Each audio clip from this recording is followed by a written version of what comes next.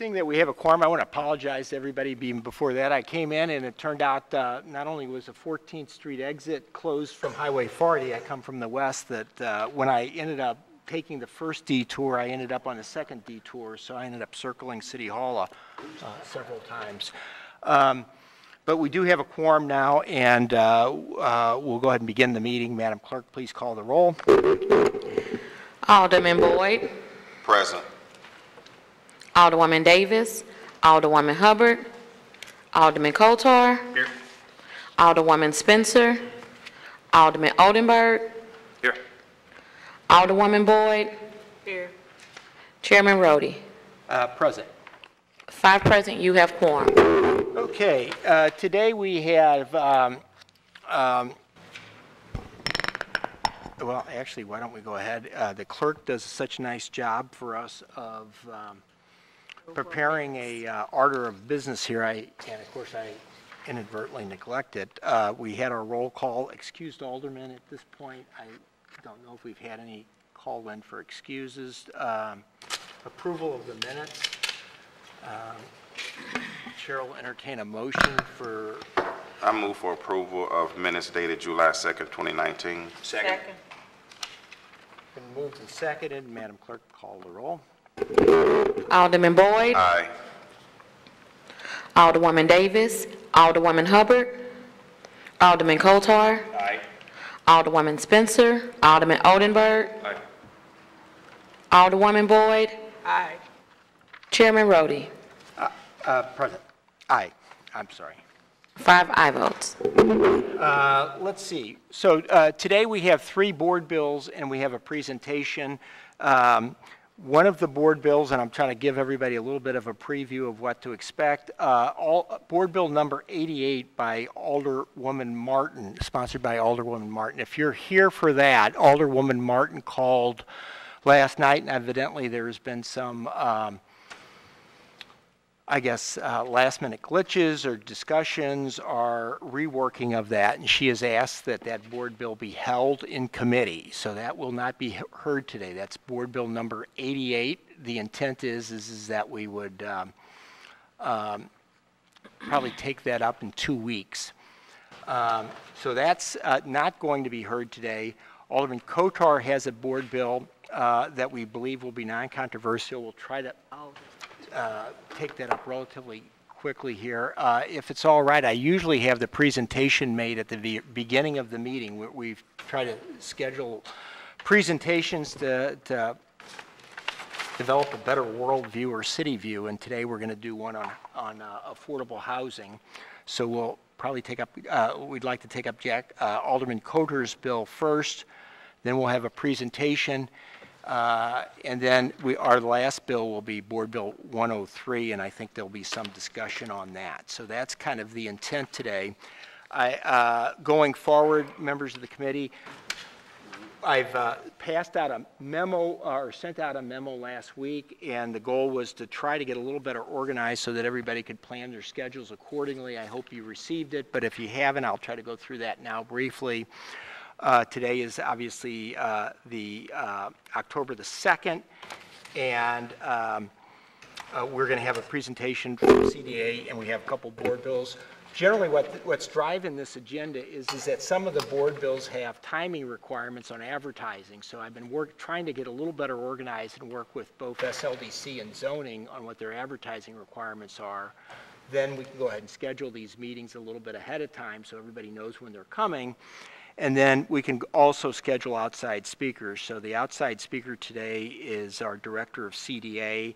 Uh, I don't think he's been before our committee since his appointment, but we'll have him, and he'll talk about a, a, an RFP that just went out last Friday for affordable housing, something I've been talking quite a bit about. Uh, On 10-9, uh, St. Louis Development Corporation is going to come through, and they're required to provide us an, an annual update on the uh, economic development plan. The plan has not been completed, but they're uh, obligated to do that, I believe, in the month of October, and uh, um, since it's not done, we're having them come over then to, to make a presentation. with all the discussion about tax abatement and its impact on the schools beginning several years ago, we've been inviting the CFO of the public schools to come over each year. So this will be her third year. She will be here on 1016 and give us an idea of how the schools are doing. Uh, As I think everybody knows, they receive about 60% of the real estate taxes that we collect in the city. And so obviously, what we do at tax abatement impacts them, and we are wanting to get a little bit more creative and um, um, strategic in how we're doing that. On 11/6, uh, I'm not sure if we even have any board bill scheduled for that day or anything was advertised, but we're kind of holding that open. And then on 11/20, we're going to have a presentation. We had a presentation last year from the St. Louis Federal Reserve. Uh, This year, um, Dr. Hollins and I have been uh, working on the schedule together. And one of the things uh, that is, uh, I think, generally well recognized by many leaders in our region is the importance of uh, workforce development and how lack of development in that area can hold back our region. And so uh, the St. Louis Federal Reserve, I think, has some interesting information on that that is probably valuable or worthwhile for all of us. So that's what uh, Gerard and I have been working on. If you could kind of save those dates, and, and obviously, if something comes up that's an emergency, uh, we will add some more, but that is uh, at least uh, for right now what we're looking at for, for the HUD schedule. So uh, we do have speakers down here, and I think it's going to be non-controversial. The alderman from the 7th has guaranteed me of that. So uh, we have a number of people down here for this.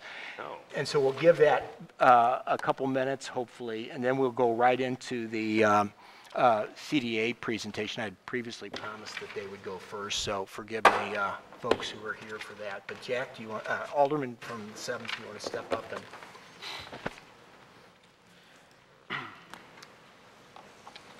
Thank you, Mr. Chairman, members of the committee. Um, What's in front of you is Board Bill 90, which is a simple rezoning bill. Um, If you look at the map on the back page of the bill, you can see the parcels we're talking about. Uh, This is the site of the bar known as the Great Grizzly Bear uh, down in Soulard, right at the corner of Menard and Geyer. Um, Mr. Bill Stakovic, who's here today, uh, owns the parcels. He recently sold the bar, um, and as part of his, uh, you know, him consolidate, he had these parcels, they were kind of both part of the bar before. The plan is to take that rear parcel, redevelop it into a, a multifamily building. There'll still be a bar remaining in the front, uh, and at the request of Bill and his insurance folks and the zoning commissioner, Mary, who's here, Mary Burton, we are rezoning, this is dual zoned currently as DG, so multifamily and G, which is local commercial, we're simply rezoning it to D and H, H, which is area commercial district, uh, simply to make the bar a, basically a permitted use. Um, The new owners of the bar who took over for Bill had to apply for a variance. It was kind of a mess, you know, it was a cumbersome process that doesn't really need to exist for a property that we support, that's always been a bar. So what we're hoping to do is just simply rezone from DG to DH. Mary's here if we need uh, any more information.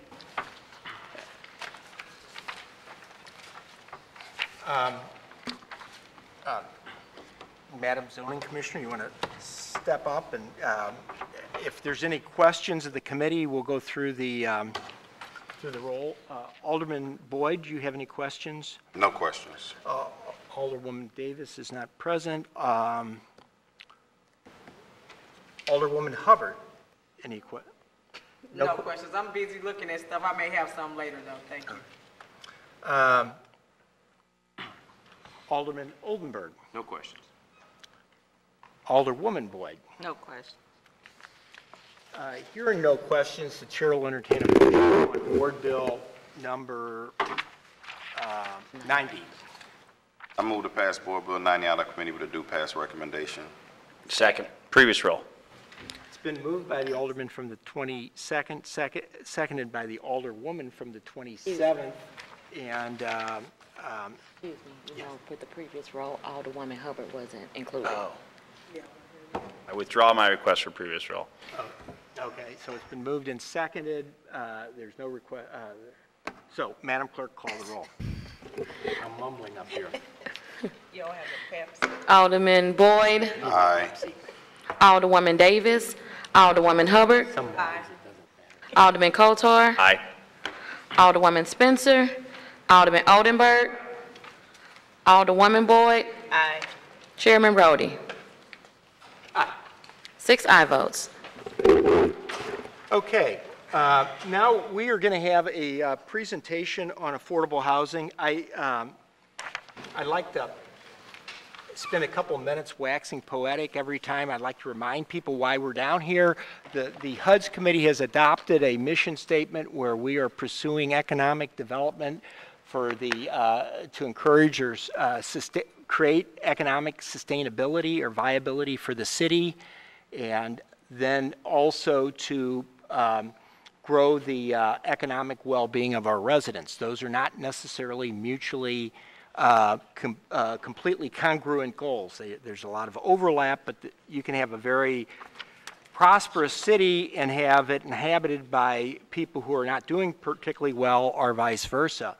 And, our goal is, is to find the right balance where we have a city that is uh, properly funded to provide vital services, whether it's education, police, forestry, and so forth, and yet also have that inhabited by people of growing incomes. And of course, we have a disproportionate share of the region's income uh, to kind of reflect on where we want. We, we started the whole process with uh, a, a review of incentive reform. The next step was the development of an economic development strategy, and we're coming close to, to the end of that. And then the, uh, the next step of this is, is starting to pay some attention to the well-being of our residents. And I think uh, it is well acknowledged that uh, uh, good and quality housing is uh, the cornerstone of people's uh, well-being.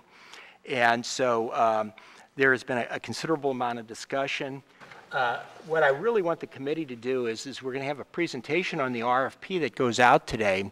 But as we discuss housing, and I've been very fortunate, as I think you all know, that I have a ward that's undergone great transition, there are a number of um, challenges and uh, that need to be addressed. And uh, we end up with situations where I think most of us, all of us, would agree that segregation is not a good thing, but we're segregated. To end segregation, that means either we're going to have to have people in segregated neighborhoods move out of it, which then can be called displacement, or we're going to have people not in those segregated neighborhoods to move in, which then could be called gentrification. And then we end up in a situation when we, when neighborhoods that have experienced a great deal of disinvestment are reinvested, uh, what is success and what does it look like? And are there better ways of creating affordable housing? If you go ahead and a neighborhood becomes, if you fix the problems of the neighborhood, if it becomes safer, if it becomes more attractive, more people are going to want to live there and home values are going to go up. And there are lots of those kind of uh, conflicting results. And we need to figure out, and our goal in doing this is first to try to build consensus in the community. Uh, uh, I, we're going to hear from the executive director over at CDA, and the way that we've designed the RFP is to try to go out and get as many people involved in this as we can so that we can develop consensus. But if we're developing consensus out in the community, at some point, we need to go ahead and ratify that. So I want us to kind of stay on a parallel path of what work is being done over at CDA, so that when we're done with it, we can come back over here and adopt a resolution uh, and, and the findings of this study, and that can become kind of our shared vision of what success looks like, and that will become our roadmap for how we go about doing our neighborhoods. There, there are many, many other kind of uh, conflicting things here that need to be sorted out. So with that, um, um, my understanding uh, is, is that the folks over at CDA have done a fair amount of work on this already, and, and they've issued this, uh, the RFP for it last Friday. And uh, at this juncture, uh, we'd like to go ahead and recognize um, our new executive director, first time before our committee, Matt Moak. I think most of us know Matt from his uh, previous position. Matt, why don't you go ahead and step up and walk us through what you've done? Good morning, committee. I'm Matt Moak, CDA. I know most of you. Um, As Alderman Roddy has uh, alluded to, um, CDA is taking a strong look at affordable housing in terms of what we've done in the past and what we may do in the future. And in that regard, I've prepared a small PowerPoint to present to you all today. Um, I'll be probably looking this way a little bit to the extent you can't hear me here behind. Please speak up You and might let me know. pull the mic up a little closer. Okay. There you go. Is that better? Yeah. Okay. All righty, let's take a look. Um, Again, I want to get into a little bit about uh, the the parameters of affordable housing and how we have to uh, abide by HUD rules and different things we have to do, some of the data, mostly historical, and then looking ahead to the future, meaning uh, the RFP on affordable housing that uh, the chairman alluded to. So the overall questions, you know, what are we doing in this area? How much more do we need to do? Where is it appropriate? Um, How do we go about doing that?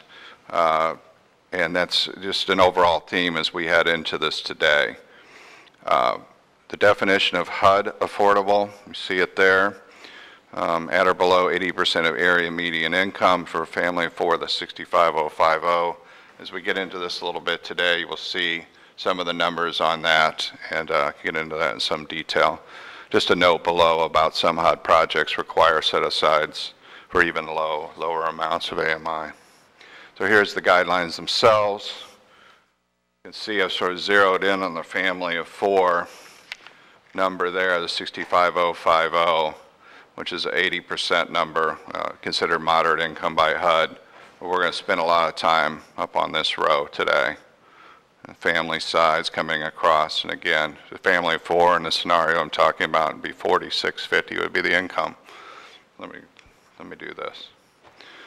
So with that in mind, I, I mean, this number just strikes me, and I think it's, it's really the reason we're all here talking about helping these people in the city. But 44% of the city population is at or below 50% AMI. I that's just amazing to me. We're talking about this row right here. So again, taking a family of four, that's our number. 65% of the city are between 50 to 80% AMI. It's a little bit uh, more positive. Again, it just takes into account, we can go all the way up, uh, you know, the numbers get a little higher. Something that we're proud of at CDA, we're serving that low to moderate income strata and 85% of our money is directed to the low and mod activities in 2018. We're required by HUD to spend 70% in those areas, but we're actually doing 15% better than that. Some background, uh, we're one of, CD is one of several entities producing house, affordable housing in the city. There's some other ones you're all mostly familiar with, I'm sure.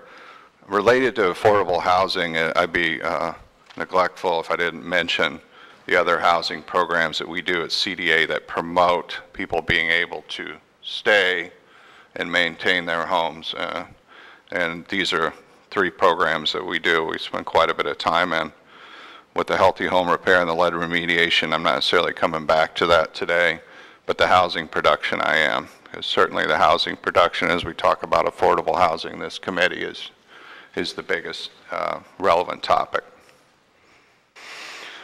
Again, just some background on how money comes into CDA um, from HUD, uh, various program funds. Most of you probably familiar with some of these terms. The CDBG, everybody knows. The home is another sort of variation on that, where uh, home funds are used strictly for housing production, whereas the CDBG can be used for some housing production, but also social services in the community, which is probably best known for.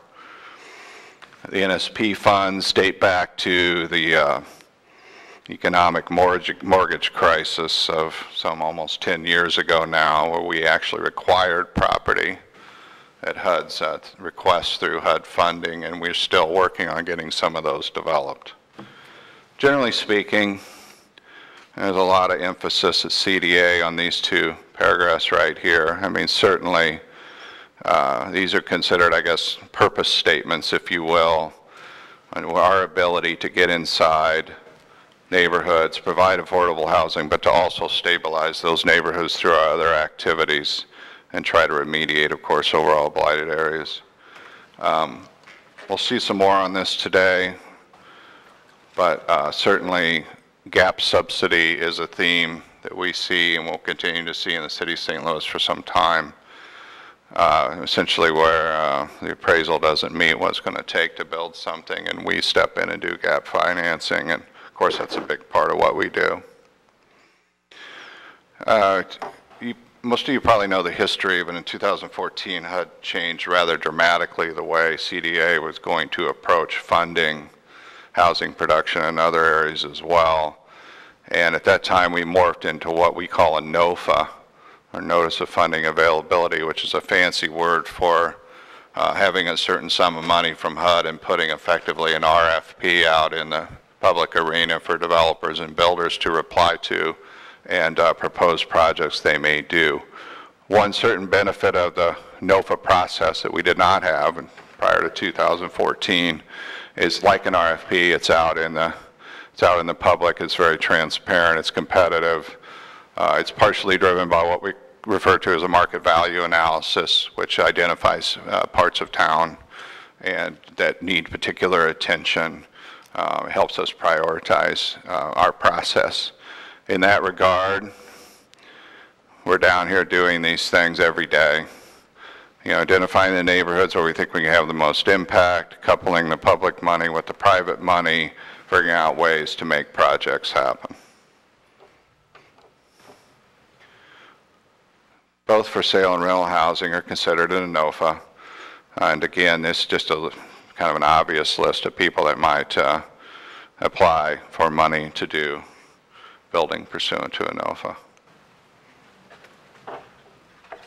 We're looking at each of the applicants, of course, and determining whether or not uh, the proposal, or we rank them, for lack of a better word, depending on the proposal, we, which one we feel like is uh, more appropriate than another go through a process of doing that internally, and of course, work with the aldermen and others to figure out the best way to go.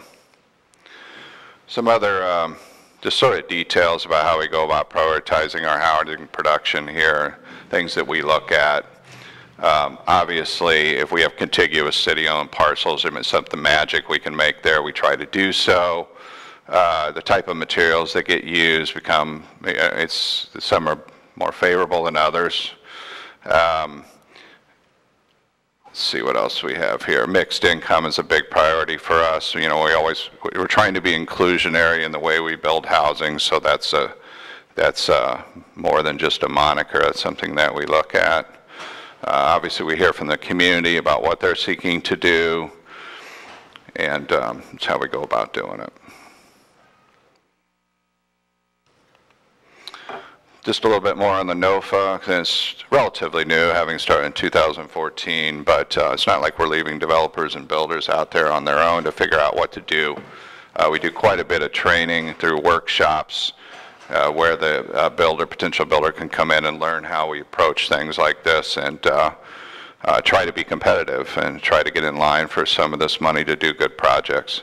Here's some of the numbers from in the last, up to 18, I have 14 through 18, uh, almost $28 million in money awarded for projects. And here's some of the breakout of some of those projects that um, we've done.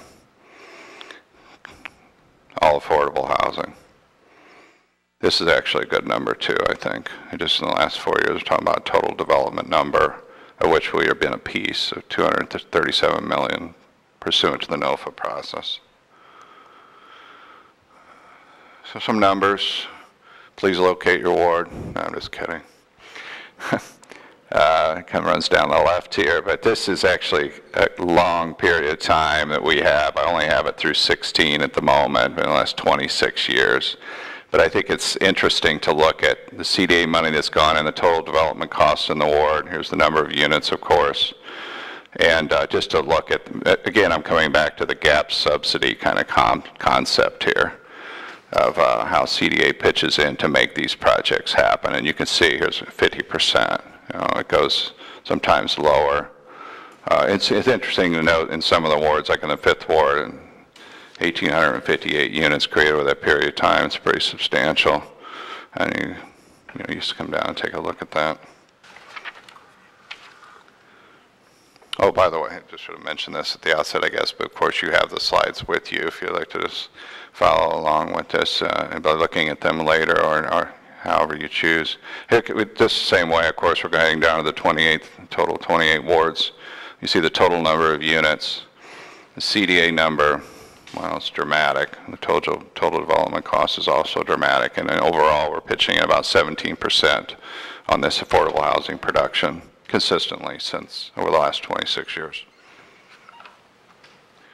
So the other document that was handed out by Terry earlier is an RFP document what Alderman Roddy was referring to earlier. Uh, and I refer to it here as the future. Um, obviously, we're out there doing affordable housing in housing production, as I've talked about, but I think one of the things that we need to focus on is how we're going to be effective with affordable housing in the future. And we spent quite a bit of time over the last several months drawing up this RFP. If I figure out the best way to get not just a report with data, the data is important, but to get some semblance of a strategy or a policy that we want to adhere to as a city moving forward and, and uh, do better. So in the next several slides I have here, I really just uh, cut and pasting out of the RFP that you have there in total. It's a 14-page RFP to give you an idea of what we're trying to do. This is some basic background. Again, I think we're not just talking about a study and, a, and, and data. We do want that, um, but we also want we want to articulate a strategy going forward. And I think that's what distinguishes this RFP from prior data RFPs. Nothing wrong with data. We do it, we'll continue to do it probably on an annual basis, um, but we just don't want to be strapped to that. Overall, um, I'll have to tell the committee, but there's uh, there's concern about affordable housing in the city, and I think we need to be smart about it, and we need to focus on it, and really take a hard look at it, and that's uh, sort of a uh, objective slide, if you will, in terms of what we need.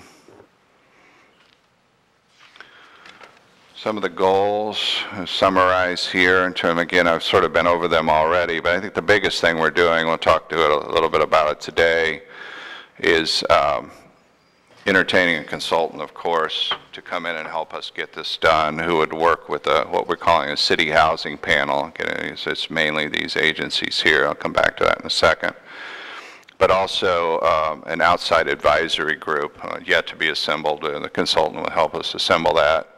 And the idea there is to get academics and professionals in the community uh, to be a part of this process and really uh, give it a global feel in terms of what we're going to do in this area going forward. Well, the city housing panel, sort of the usual suspects, if you will. Uh, but I think the feeling is too, we would like to have a representative from HUD's on the, on the housing panel. And I left this open down here, other appropriate city representatives, because frankly, I, I don't, I don't want to limit this. Uh, there may be other people we want to include in this internal to the city, and if so, we will do so. Now, the advisory group kind of makes this RFP unique, and I like to spend a little time on that. Again, uh, you know, kind of mentioned this already. The idea is to go outside, uh, maybe other public institution representatives, but also private institution representatives, get them involved. Obviously, we want to be diverse. We want to have representatives from different geographies across the city. It doesn't even necessarily have to be someone in the city. It could be someone uh, outside the city who might be able to help our vision. If so, we want to enlist them.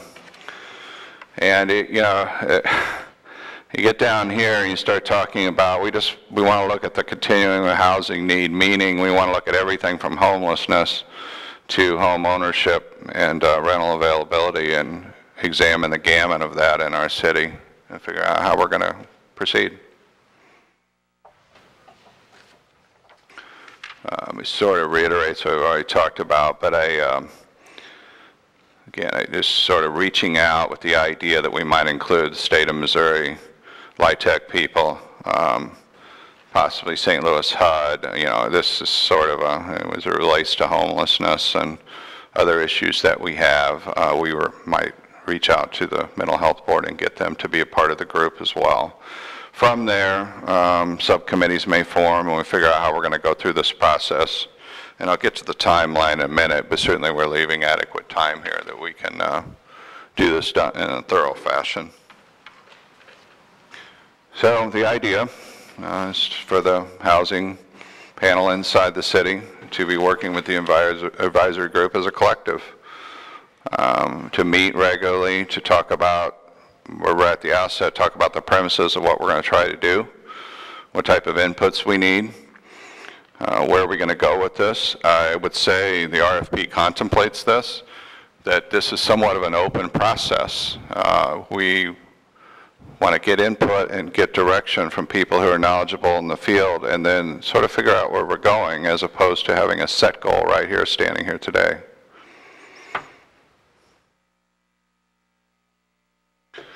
Some of the um, content, of course, we hope to obtain, there's going to be data, and there's going to be lots of data. Um, uh, We need that. I think what we contemplate is if we can do this properly, we would have a data report uh, that comes out of this that hopefully would be updatable on an annual basis pursuant to the strategy and policy that we develop. Again, just some sections of the RFP citing two here, uh, talking about uh, what we want to include. Um,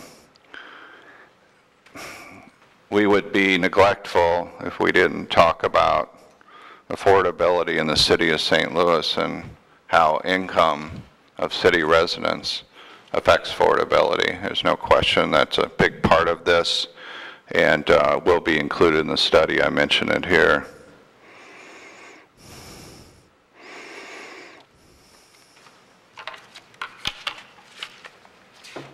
Uh, We have quite a bit of data already, um, and we, of course, will provide that to the study in terms of our housing production and others, building permit data that can be included. I, I- again, I I think the data piece is, piece is very important, but I, think you have to take that data and actually take it to the street and figure out how we're really going to move forward. And it seems to me the focus of this RFP is more on strategy and policy than it is on data, but, you know, data's a part of it. Um, I mention this only because I think it's always interesting to look what we, what we expect to be attached to the report, um, because those are going to be the documents that uh, uh, form the basis for the data as well as some of the analysis, and so I mentioned them here.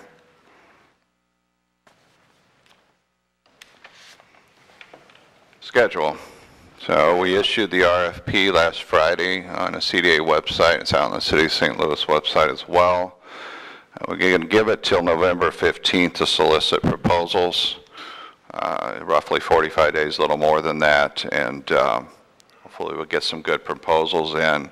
The idea is toward the end of this year that, uh, along with the consultant, we'd assemble the city housing panel and try to get the advisory group together as well, and of course, try to merge them and get going on this. So um, I set early, early 2020 as sort of the launching pad for this, uh, with the idea that, because I I didn't mention this earlier as I was going through, but of course, public input is going to be a big part of this, and we value that very much. So I set that out here after we get these uh, panels assembled, in terms of getting out and meeting in the community and getting their input as well, which would, of course, become part of the report. These dates set right now as a tentative submission, June, July of 2020. And I would hope we would be able to report back to the committee at some point after that time as to what we've accomplished. That's pretty much all I have this morning, uh, Mr. Chairman, the committee. I welcome any questions. I do want to introduce, by the way, Bill Rata is Mr. Housing at CDA, so certainly any questions regarding housing production that uh, he's also available here to, to answer if you'd like.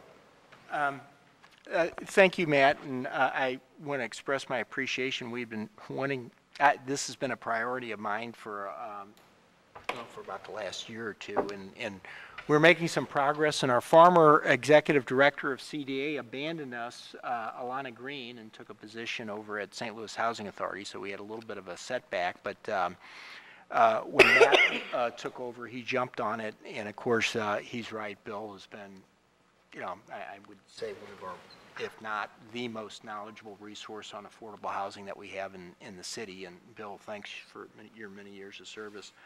Um, Matt, I can't stress enough the, I think what the importance is of, of addressing head-on and making kind of the general public aware of the paradoxes that we talk about, you know, that I mentioned earlier, and there's many more of them.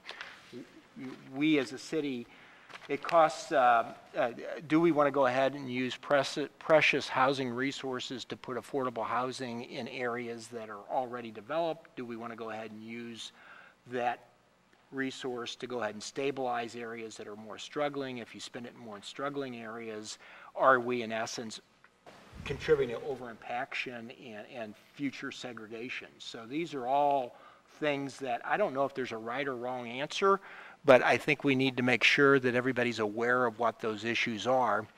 And, um, you know, having some sort of consensus and shared vision on what success looks like when we're done fixing a neighborhood up is, is just, I can't tell you how important that is. Uh, you- We'll spend a whole lot of, if we, if we know what that is before we get into it, it's a lot easier to deal with than have a neighborhood change dramatically and then afterwards say, oh my gosh, you know, you should have done it this way or that way. And uh, I, I'm going to go through the committee, and I'd ask you kind of reflect on um, how we can stay in tune with what this parallel effort, so that while Matt is going out and, and his, uh, working with these consultants and having public engagement, how we can go ahead and make sure that the, the product that they're producing is something that we're going to feel comfortable eventually adopting. Uh, Just like we did with the, the incentive reform thing, we ended up with a resolution. You know, I don't think anybody thinks it's perfect, but it's kind of an amalgamation of our shared views. And we'd like to go ahead and try to do something, I think, similar to that, so that as we start going forward and seeing some, um, hopefully, continued redevelopment in some of the areas uh, surrounding the Central Corridor, that we have some sort of idea of what that shared vision is. So uh, I'm asking the committee members to reflect on that, and we'll go through, and if you want to answer to that, or else uh, uh, make any other comments. Alderman Boyd? Sure. Thank you, Mr. Chairman. Uh, Thank you, Matt, for the presentation. Um, Is there anybody here from HUD, the actual local HUD office, in the room? Um, no, I don't believe so. Okay. Dominic Waters is our main contact. I didn't ask her to come over on this. We talked to her a little bit about it briefly. Okay. A few questions. Um, Are there any set-asides for specific neighborhoods or commercial districts? Um, There are some um, specific lower um, income set-asides that HUD places upon us. I'd be, I'd be shooting it from the hip to tell you exactly what those are, Um, but depending on the type of funding mechanism what we use. Right, currently, we have a five-year plan in place, and I know we're working on the next five-year plan, right? Within, Right. within the current plan, are there any set-asides for commercial districts or neighborhoods specifically as far as priorities given through the RFP process? Yeah, you know, we've been having a discussion about the commercial corridors, and uh, what we're trying to do is line up the five-year plan with the economic development plan that is being developed right now through SLDC, and try to, I don't know about the set-aside piece of your question, but to try to identify those commercial corridors where we think we can make a difference with uh, focus funding. The- reason I brought that up is I know several years ago, under the Slay's administration, there was a set-aside for like MLK in this, Yeah. I don't know if that expired, or Yeah. if it was renewed, or where we were on that, and how effective it Yeah. might have been. Again, I don't know about the set-aside piece, but MLK, the, the corridor you mentioned, Alderman Boyd, was specifically identified in the 2014 comp plan. And I, I think, and I've had these discussions here just in the last couple of weeks with uh, the ED consultants and others about And I think if we're going to identify a priority like we did, then we need to follow through on that and actually try to address it in some way. And, and um, I'm not sure, I'm not saying there hasn't been any follow-through, but I'm reluctant to identify them unless I do something special for them. And I, I don't, that hasn't been finalized in this year's con plan. I, Um, I would be so- curious as to see a report from the inception of when that was talked about and what the outcomes have been to date. Mm-hmm. Could you get me that? Yeah, I mean, the, co- certainly the, the five-year plan is going to No, no, no, reflect no. on the core, No, I'm The reflection of the MLK corridor set aside. How Mm-hmm. Okay. much money was it? What was done? Okay, Can I I'd get a have to get report of back that? to you on that, Okay. but I'm happy to do so. Y- y- Data is a word that you like to use. I picked it up quite a bit in your presentation. And data is good. Data tells a story. And what was enlightening to me in your presentation, uh, I'm going to go to slide number 12, where it talked about the historical data, affordable housing production, Okay, and how you can easily tell where there's almost no low-income housing. Like in the 12th ward, there's zero dollars spent. 16th ward, zero dollars spent. The 23rd, just over 38,000. The 24th ward, just over 1.1 million. And surprisingly, in the 28th ward, only 531,000, which really surprised me with data from 1994. Uh-oh. So, what I would like to request, hopefully you can pull this, with redistricting, these numbers are totally skewed. Because some of the good work that was done in one particular ward with housing production, it got transferred to a different ward over time, yeah, right? yeah, well, that's true. Is yeah. there a way that you can actually drill down to the neighborhood, which would make more sense? Yeah. And be more accurate?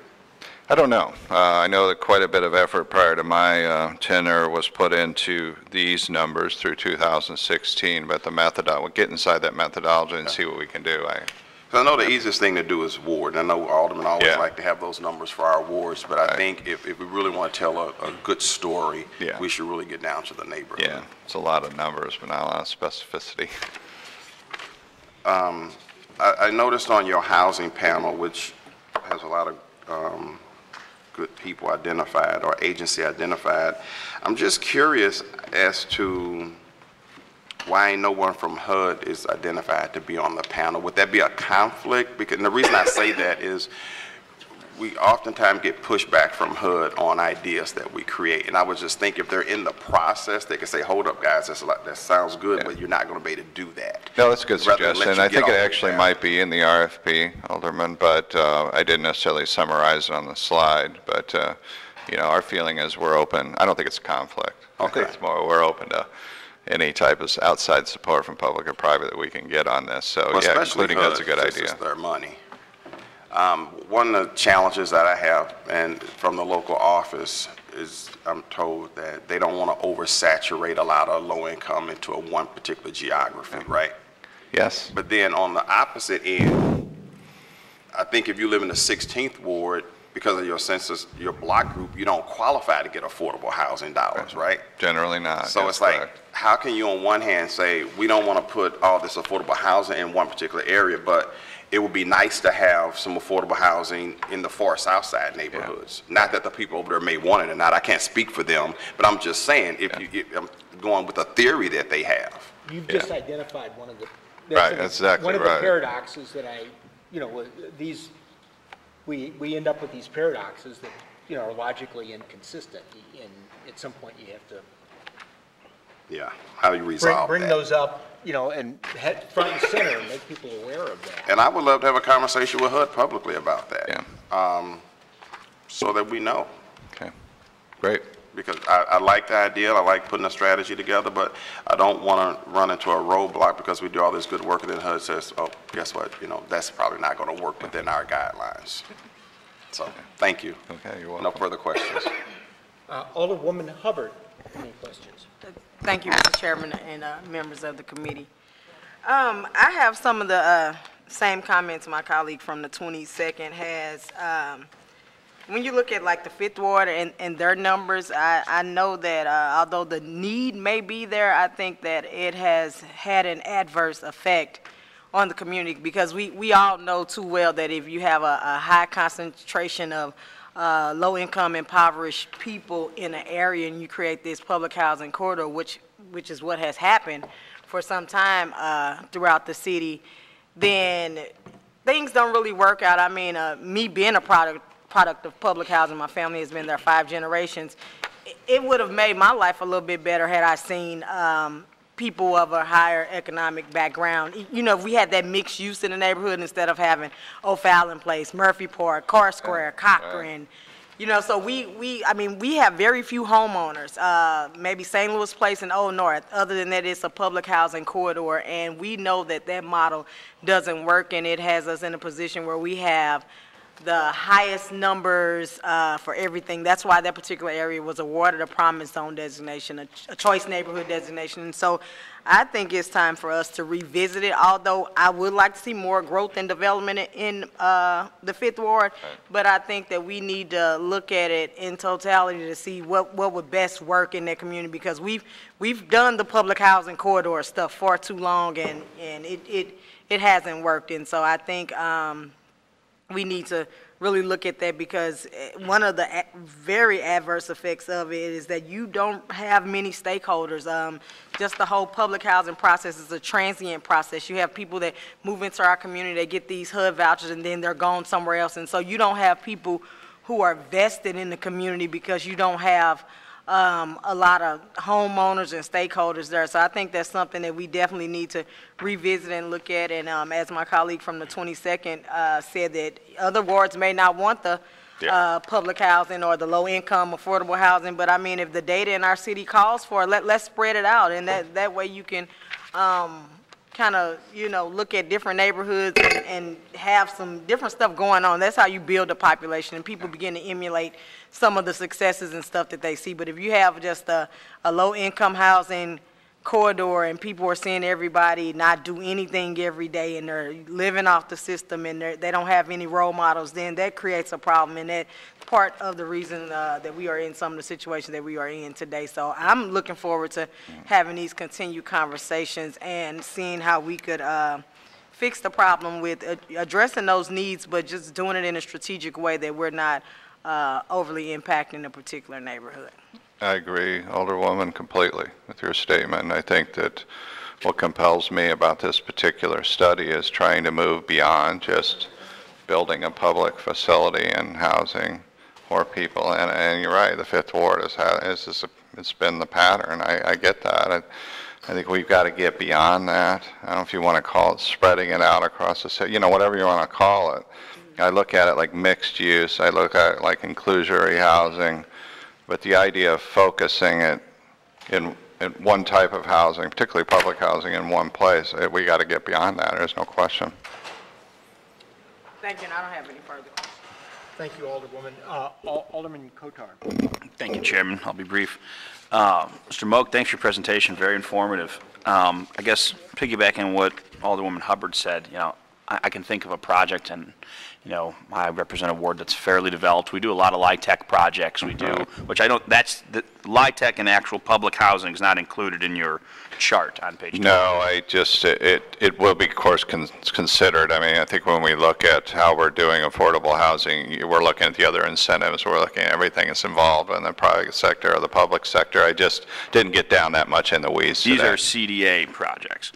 Mm-hmm. On, along those lines, you know, one of the things that I hope that we can focus on and the report will focus on is, you know, some of the, when you're, these CDA projects in particular, when you talk about, people think about low-income housing, and in some neighborhoods they say, no, I don't want this, but, you know, if, if, if CDA is providing gap financing to, to help, you know, fill the void in, in, Right. in some areas where housing prices aren't quite as high, I mean, when you talk about low income, I mean, this low mod income, I mean, these, there are cops and firefighters and many city employees that would fit into these categories that'd be eligible to buy these homes. And, and I know that's worked really well in my ward. We've done some of those mm. projects with CDA's help over in mm. McKinley Heights, and it's been a huge success.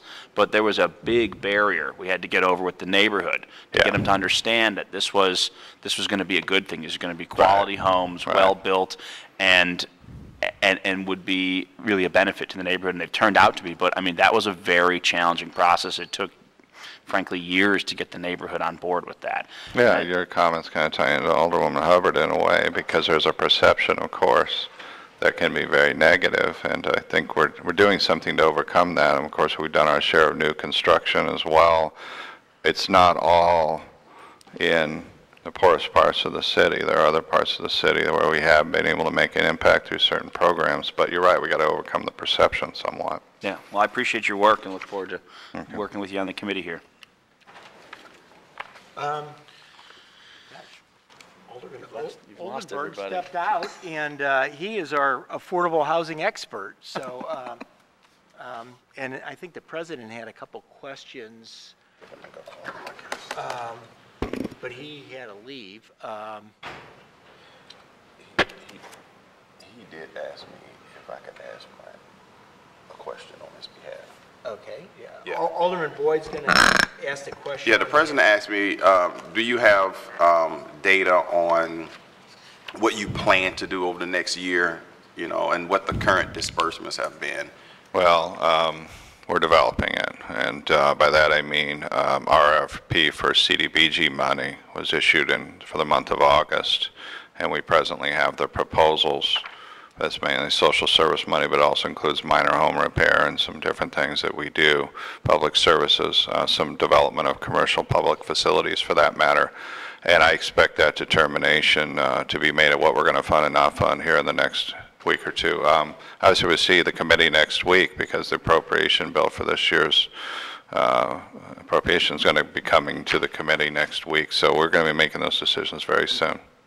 Matt, how much money currently do we have to allocate for this RFP? For which piece? The next round of housing production? I want to say we're looking at four and a half million. Does that sound like the right number that we were talking about the other day? To do, uh, to do housing production in uh, 2020. Okay, and the next NOFA, notice of funding is going to come? Soon. I actually don't have a date for you on that, Alderman, but uh, it's something that we're going to tackle here after we get the appropriation done. It'll be, my guess is November, we'll be putting that out there, yes. I get a lot of requests from individuals, individuals who, maybe they bought a LRA piece of property and they want to know if they can get support from the city to kind of help rehab it. Is there a program to uh, rehab single-family homes for home ownership or even for rental? Oh, yes. There Um. Mostly subject to the income guidelines, but yes, that's, uh, we're doing that. Um, It mainly pursuant to the NOFA, mainly, uh, which, uh, which, you know, of course, like I said, will be issued the next month or so. Do you uh, know when the last time we funded a single-unit development for, let's say, a homeowner, that just wanted assistance for a rehab? I'm going to ask Bill. Yeah, it's been a while. Microphone, Bill? Yes. Yeah, it's been a while since we've done that. Um, The, the difficulty is for an individual homeowner to comply with all the HUD requirements mm-hmm. That they want with a project funded with their housing. So, you know, generally have to have an architect, you have to bring it up to Energy Star standards, you know, lead remediation, asbestos, radon, um, a bunch of different things like that. Section 106 compliance. So it- it's, it's, it can be done, but it's kind of difficult for, you know, an individual homeowner to go through the NOFA process. What makes it difficult? Just complying with all the HUD uh, requirements and But if they hire somebody to do the lead they to could, do all right, um, but then, um, you know, they have to have some skin in the game, so we're not going to do 100% financing. Mm-hmm. Right. So, you know, we generally like to do no more than 50% of the total development cost. So if the development cost is, say, 150,000, Mm-hmm. you know, they're going to have to have $75,000. Right. So that, that's the biggest hurdle. And that's not a bad deal, fifty percent. You know, I came into housing development through support of CDA, rehabbing a four-family to a three-family. But I'm just haven't been aware in the past ten years of any, you know, small-type development being funded through CDA. Right, it's not really ideal for that to happen. It, uh, it can, but it's difficult. Well, let me ask you this, Bill. You know, we have this Prop S money, not Prop S, I'm sorry. NS. NS, thank you, Alderwoman. This, that we can use up to $30,000 for a LRA house, right? Could a, individual who wants to move into a particular neighborhood leverage, let's say $25,000 of that money, and then qualify for potentially 50% of the- what's remaining through CDA? That's an interesting concept, because my understanding with that is, those are vacant buildings. Right. Currently, so that, that stabilization would d- be done beforehand. But the idea is to, to kind of preserve them so they can be developed at a future date. Yeah. I I don't want to rain on, a- uh, I- we have another bill, and I, uh, we're kind of talking about legislation, I think, that's going to be before us next week, and we have a, a number of people waiting here, so I, are, are you okay? Thanks, Bill. Okay. I want to, I need my, I need my votes on my committee members, so I don't want to get too cruel like the president does and cut people off at- during the, I'm joking, Mr. President, who who wants to ask some questions himself, but, um, uh, Alderman Oldenburg, did you have any questions? I did. Okay, no questions. Mr. President, did you have any questions? Uh, Alderman Boyd just asked my question about NS, so I'm good. Okay, I, th- Thanks. I think we're just about wrapped up with this. Uh, Matt, can you give us your schedule? You're going to be before us again with a couple different things, are you not? Um, So,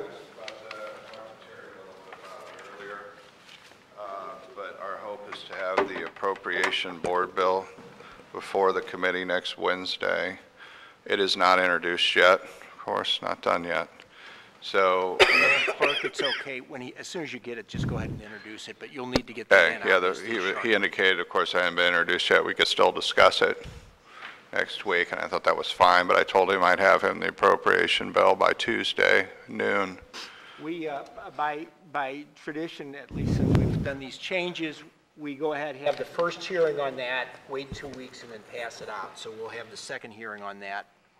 Is it one week or two? We- We agreed. I No, think we talked about- Maybe it was one week, the Yeah, 16th, we- I know we talked about the 16th coming Because you have back. some deadlines, so it'll be back on the Yes, that was the feeling, is it maybe would be could be introduced next Friday, but discussed next Wednesday, not this Friday, the following Friday be introduced, and then we would come back on the 16th and hopefully vote it out of committee, does that sound Okay. right?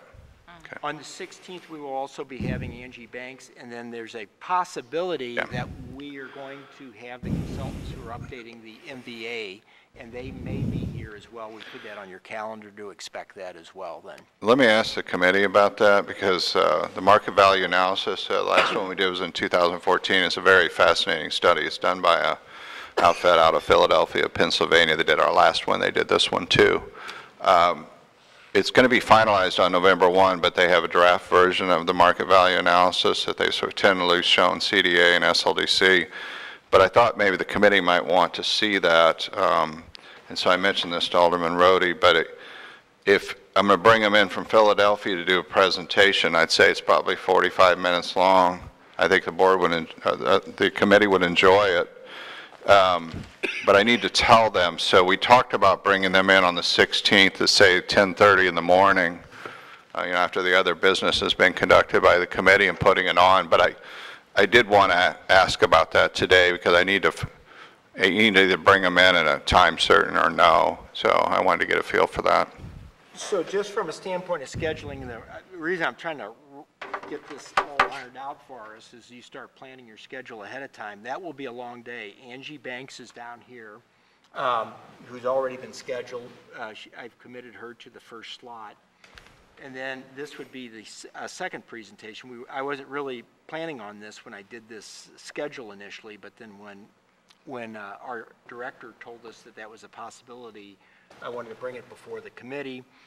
And then uh, also on the 16th, we will have um, uh, the voting on the block grant bill. We know that, and we will also have the, um, um, uh, the alderwoman from the 11th bill will be back down here. She is unavailable on the 9th, so we'll be probably taking that bill up, Board Bill 88. And I don't know if there's anything from SLDC or not for that day.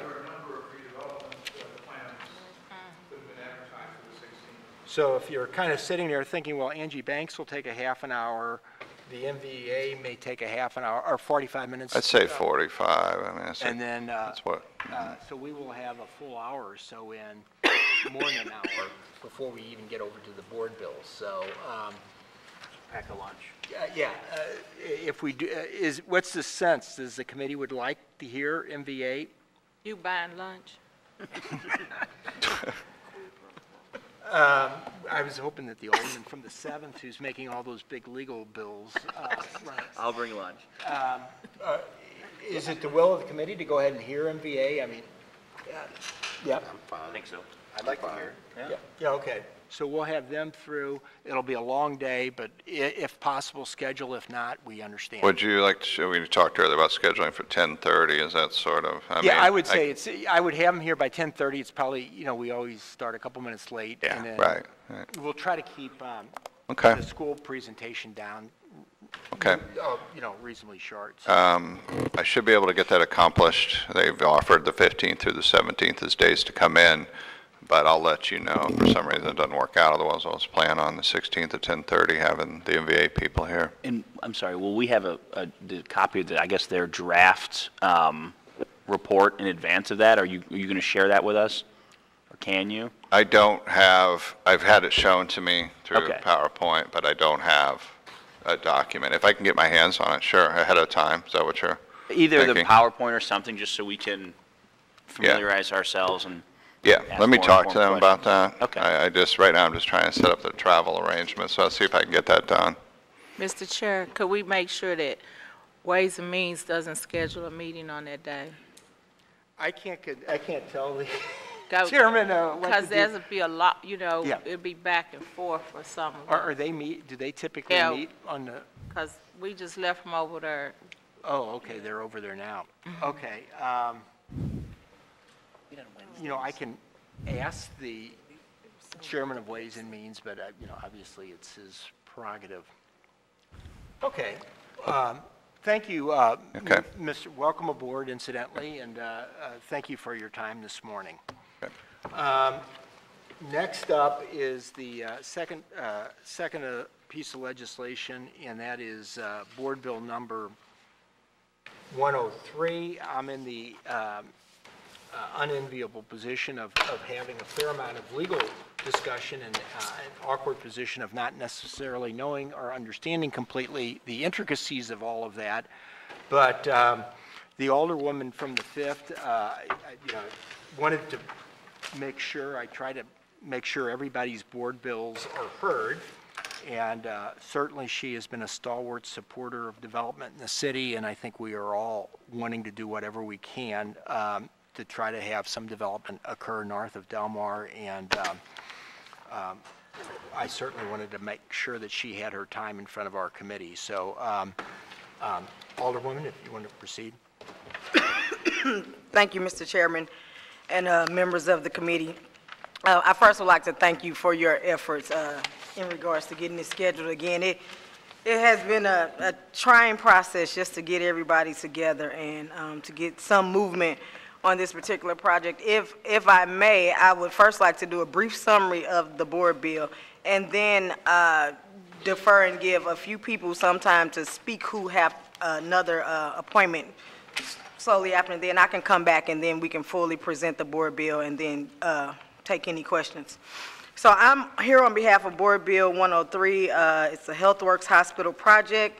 This board bill authorized the execution of an amended and restated parcel development agreement for the HealthWorks Hospital project, ordinance 70525 and ordinance 70526, approved tax increment financing assistance for the development of a three-bedroom hospital expandable up to 103,000 square feet with a 24-hour emergency room and associated roads and public infrastructure improvements. Ordinance 70525 authorized the execution of a parcel development agreement for the HealthWorks Hospital project. Ordinance 70526 authorized the issuance of TIF notes in the maximum principal amount of 8 million plus cost of issuance. As authorized by this board bill, the amended stated, restated parcel development agreement amends certain dates and add, adds certain parties as co-developers. So basically, what, what that's saying and what we have here before us is a, an agreement that was already passed in the future, I bel, I mean, uh, in the past, I think it was like maybe two years ago or so, and, um, it had a, a lot of support, and what we have before us today is just us changing some of those dates and changing some of the partners. Um, I know some of my colleagues are familiar with this project. It's one that we've been working on a long time, uh, over five years. And so what I'd like to do now is read a letter dated August the 15th, 2014. It was a letter that I myself wrote to William uh, Crodinger. He's the chairman of the Missouri Health Facilities Review Committee. Uh, It was the Certificate of Needs In Jefferson City, and I went and testified. It says, "Dear Mr. Crodinger, please accept this letter offering my full support for the Northside Urgent Care Center. As an older person and lifelong resident of the Fifth Ward, I truly understand the need for health care in our neighborhood. As a mother, I have felt the void in our community when I've had to go across town to address the health care needs of my own child. As a resident, I have felt the impact that has been placed on my community because there is not one hospital on the entire north side of St. Louis. We have no access to 24/7 emergent or urgent care, and and my community suffers because of this. The north side has the highest rates of avoidable hospital admissions for congestive heart failure, hypertension, pneumonia, and diabetes. Within our community, we also have the highest percentage of Medicaid-eligible persons in the entire city, the highest mortality rate, the lowest life expectancy, and have been identified by the city health department as the area with the greatest health care concerns. At one time, several hospitals served the north side. Since that time, they all left, and our population left as well. In our effort to redevelop and transform the north side into a viable, workable, and livable community, we must have urgent, emergent health care. I hope that you truly understand the needs of my community, and I hope that I can have your support. Sincerely, Tamika Hubbard, Fifth Ward Alderwoman. And so that's what we have before us today. Uh, This issue is, of course, one that's near and dear to my heart. Uh, We've been working on it a long time. Just to give you a a brief history of this project, initially, it was supposed to be uh, on the site where the new NGA will be built, but they um, needed more space, so then we hopped back across the street to the Pruitt-Igoe site. Uh, We all know the history of Pruitt-Igoe. is one of the biggest federal debacles in the history of this city. Um, uh, there, there's so much toxicity in that, on that footprint, which requires brownfields, that there uh, will never be able to, uh, be residential housing on that site. And so for us to work, uh, very hard to get a hospital in, uh, in North St. Louis, the only hospital in North St. Louis that, uh, could really help because we don't have one at all. I think it's important that we kind of put our political differences aside and try to make this thing happen. I, I would surely hate for an axe to be granted on the backs of my constituents, some of my most vulnerable people in the entire city who, like I said, if you look at every demographic, they are the ones that are most in need. And um, I think what we're missing in regards to healthcare in St. Louis, and if you really want to put this in perspective of how important it is, people within my community and my ward, they don't even have access to public transportation. They can't afford public transportation to go on Kingshighway, to go to Barnes or, or Jewish, or to go um, somewhere else to go to the hospital. So this, this is crucial um, for my neighborhood. Not only will it be an urgent care, it'll be a, it'll be a healthcare village. We have Ponce University. It's a health sciences university that has already come to St. Louis. They are currently operating uh, downtown, and they want to move on this site. We want to create a whole medical healthcare village, and it's my hope that we all can work together and figure out this technical part of it in regards to financing, because my constituents, they, they don't care about when the TIF started, or you didn't meet these deadlines, or they're- they, they don't care about that kind of stuff. What I'm hearing at my doorstep every day is that we need to be able to go to the doctor. And so if we don't um, address these concerns, if we don't get through these legal loopholes, then we'll be doing a disservice uh, to the community. And so I'll, um, at this time, like to bring up State Representative um, Roberts to uh, offer some uh, insight. He, he called me just understanding how important this project was and and definitely wanted to testify. And then after that, I'll bring uh, up the other partners and everything so you all can field some of the questions to myself and them. Thank you. Definitely have to sign the sheet and then state your name. Sure.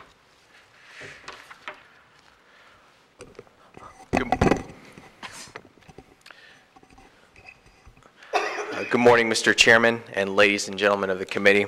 My name is Steven Roberts. I serve as the state representative for Missouri's 77th District and as chairman of the Black Caucus for Missouri's House and Senate.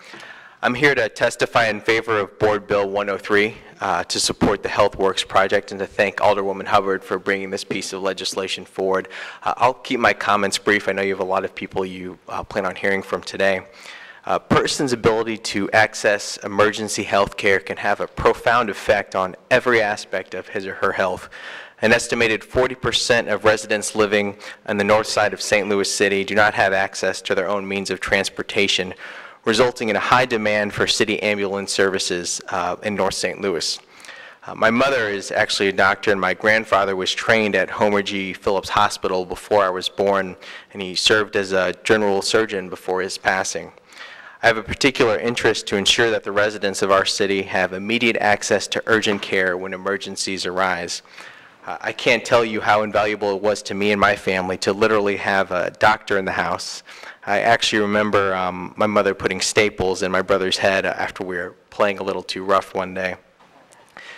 Given the planned development in the area, it's important that we have adequate medical facilities to care for our residents, and I think that projects like this are what's needed um, in these uh, underserved regions of North St. Louis. And that really concludes my testimony for today, but I'd gladly answer any questions if there are any. Well, thank you for having me.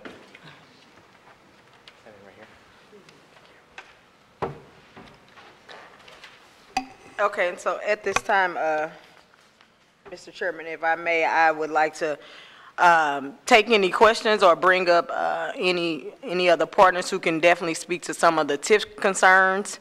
Uh, What I, I think, and I'm not sure how to best do this, I, I have shared, there's, I guess, some disagreement about um, what, what the city can legally do or not do, and uh, I'm not really sure who's the appropriate person who can give us kind of the crux of the, uh, I, I've, sh- I've attempted to share with everybody, I hope uh, you've received, and I emailed out a, several letters that were sent out uh, back and forth.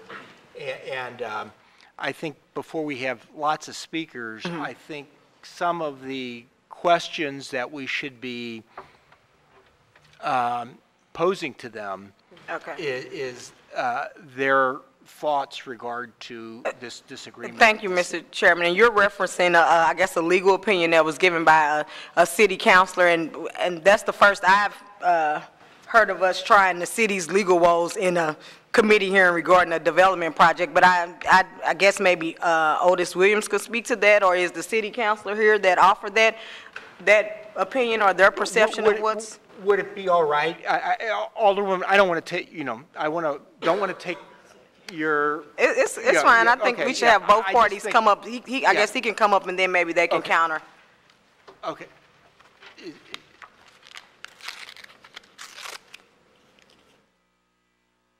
Mr. Chairman, Otis Williams, SLDC. Uh, I'm not able to speak to the legal opinion uh, because I didn't render it. Uh, So I will defer to, uh, to the legal folks to do that.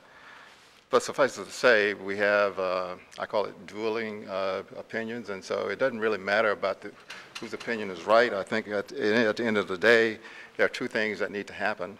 Uh, One is that uh, we would have to uh, restate the redevelopment agreement uh, that is out there, and there would have to be a companion TIF note ordinance that would have to be done.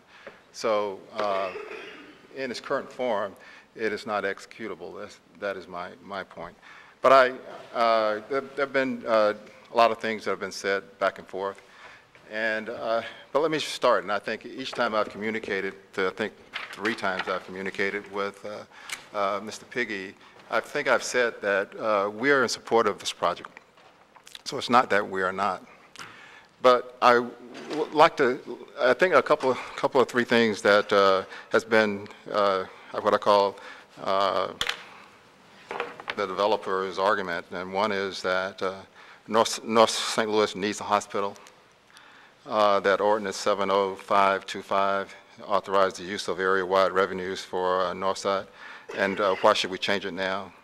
And the third was, starting a new TIF would be, would adversely affect the funding for the project.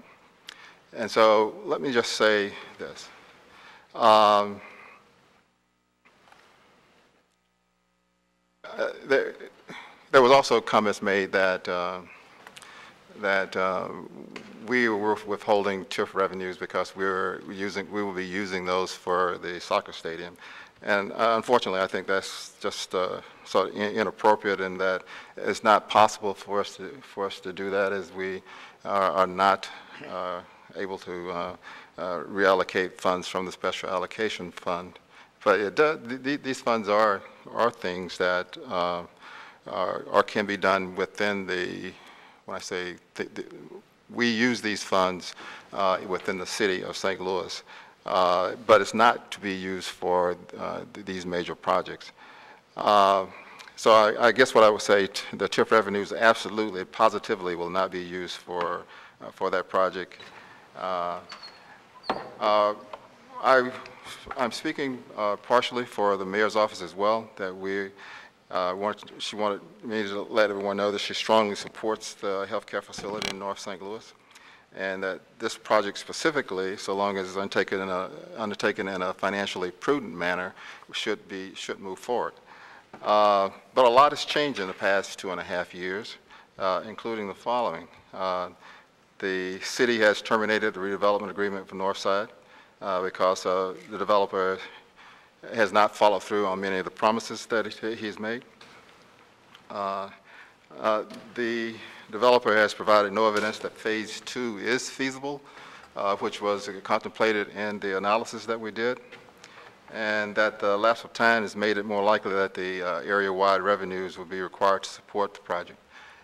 So at this point, we checked, I checked just last night with the comptroller, and in the uh, special allocation fund is a total of $862,000, I believe.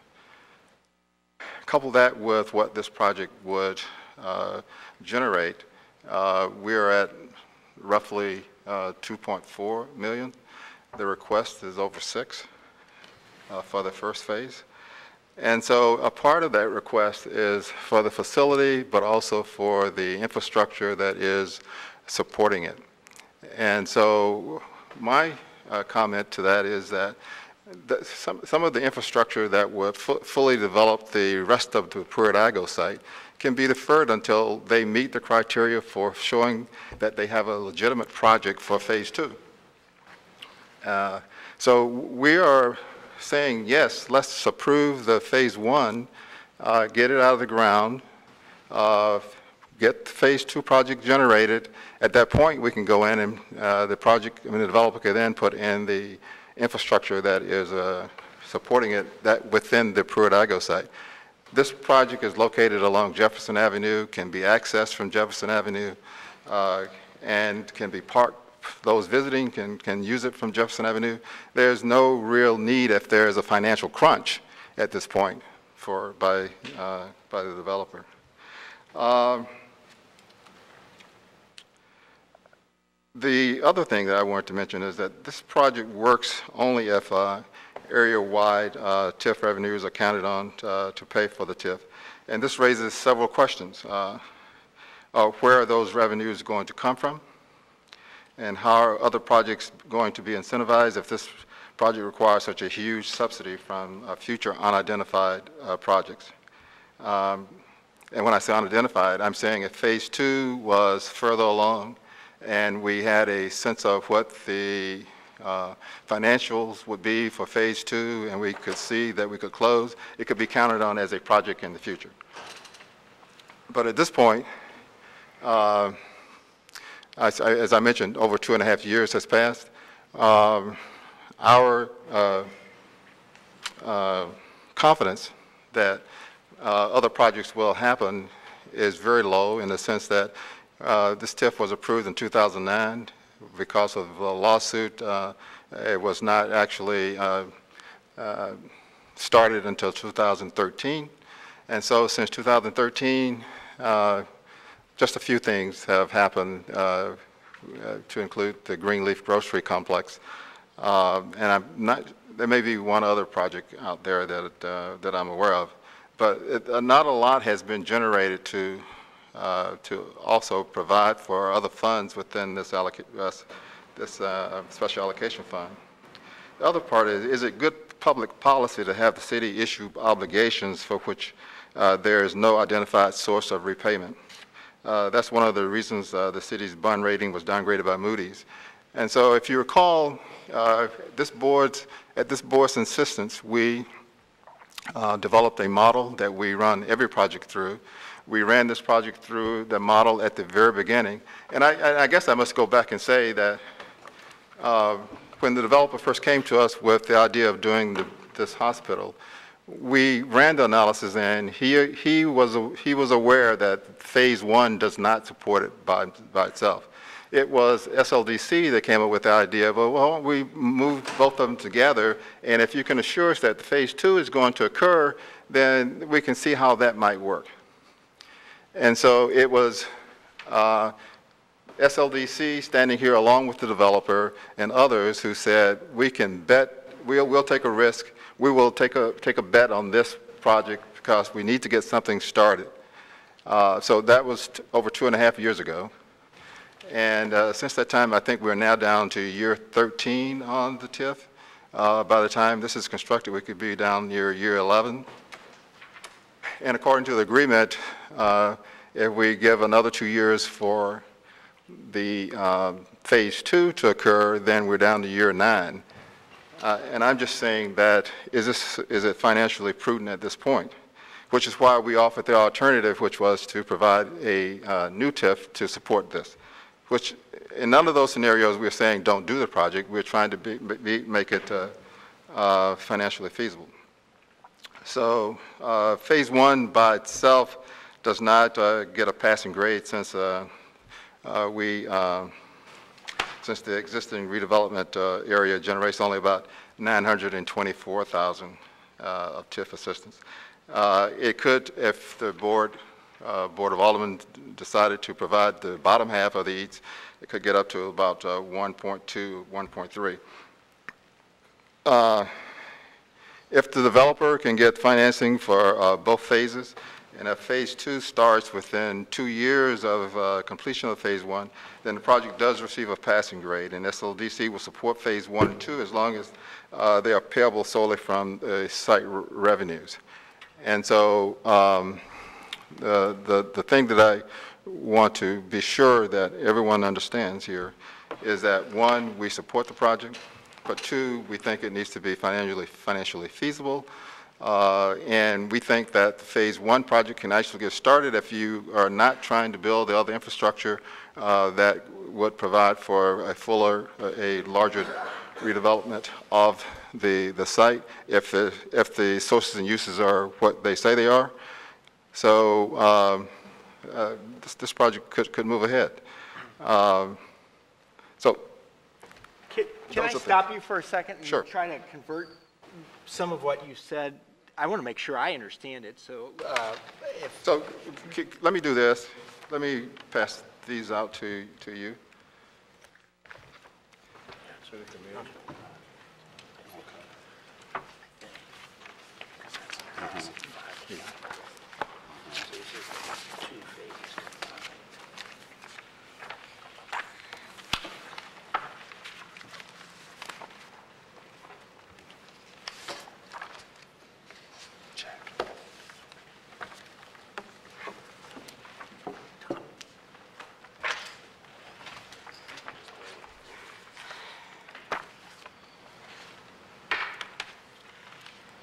So what you have in front of you is a chart that uh, is a summary on top, and essentially what it uh, provides is sort of a, if, and we did, we did about eight or nine uh, different scenarios, and I can bring Jonathan up uh, to uh, answer the specifics on each of those.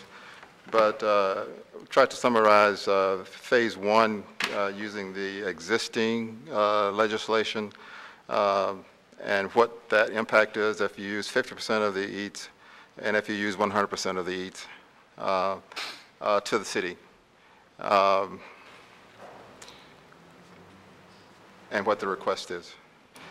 So um, obviously, this board can, uh, can approve uh, uh, whatever you, you choose to, uh, but it is our recommendation that from a uh, prudency of uh, financial, for financial prudency, I think you sh- would uh, look at uh, the exposure that is to the city. Okay, I, I want to make sure I understand exactly what's all transpired and what the issues are, and make sure, and, uh, at least I know what's going on, and then, uh, we'll provide other. So obviously, we, we passed a TIF, yeah, a number of years ago, lawsuit, slow start, so there's what, did you say 13 years left on that TIF? Is that Yes, right? so TIF was passed 2009. Uh, There subsequently was a lawsuit that was not settled until uh, 2013.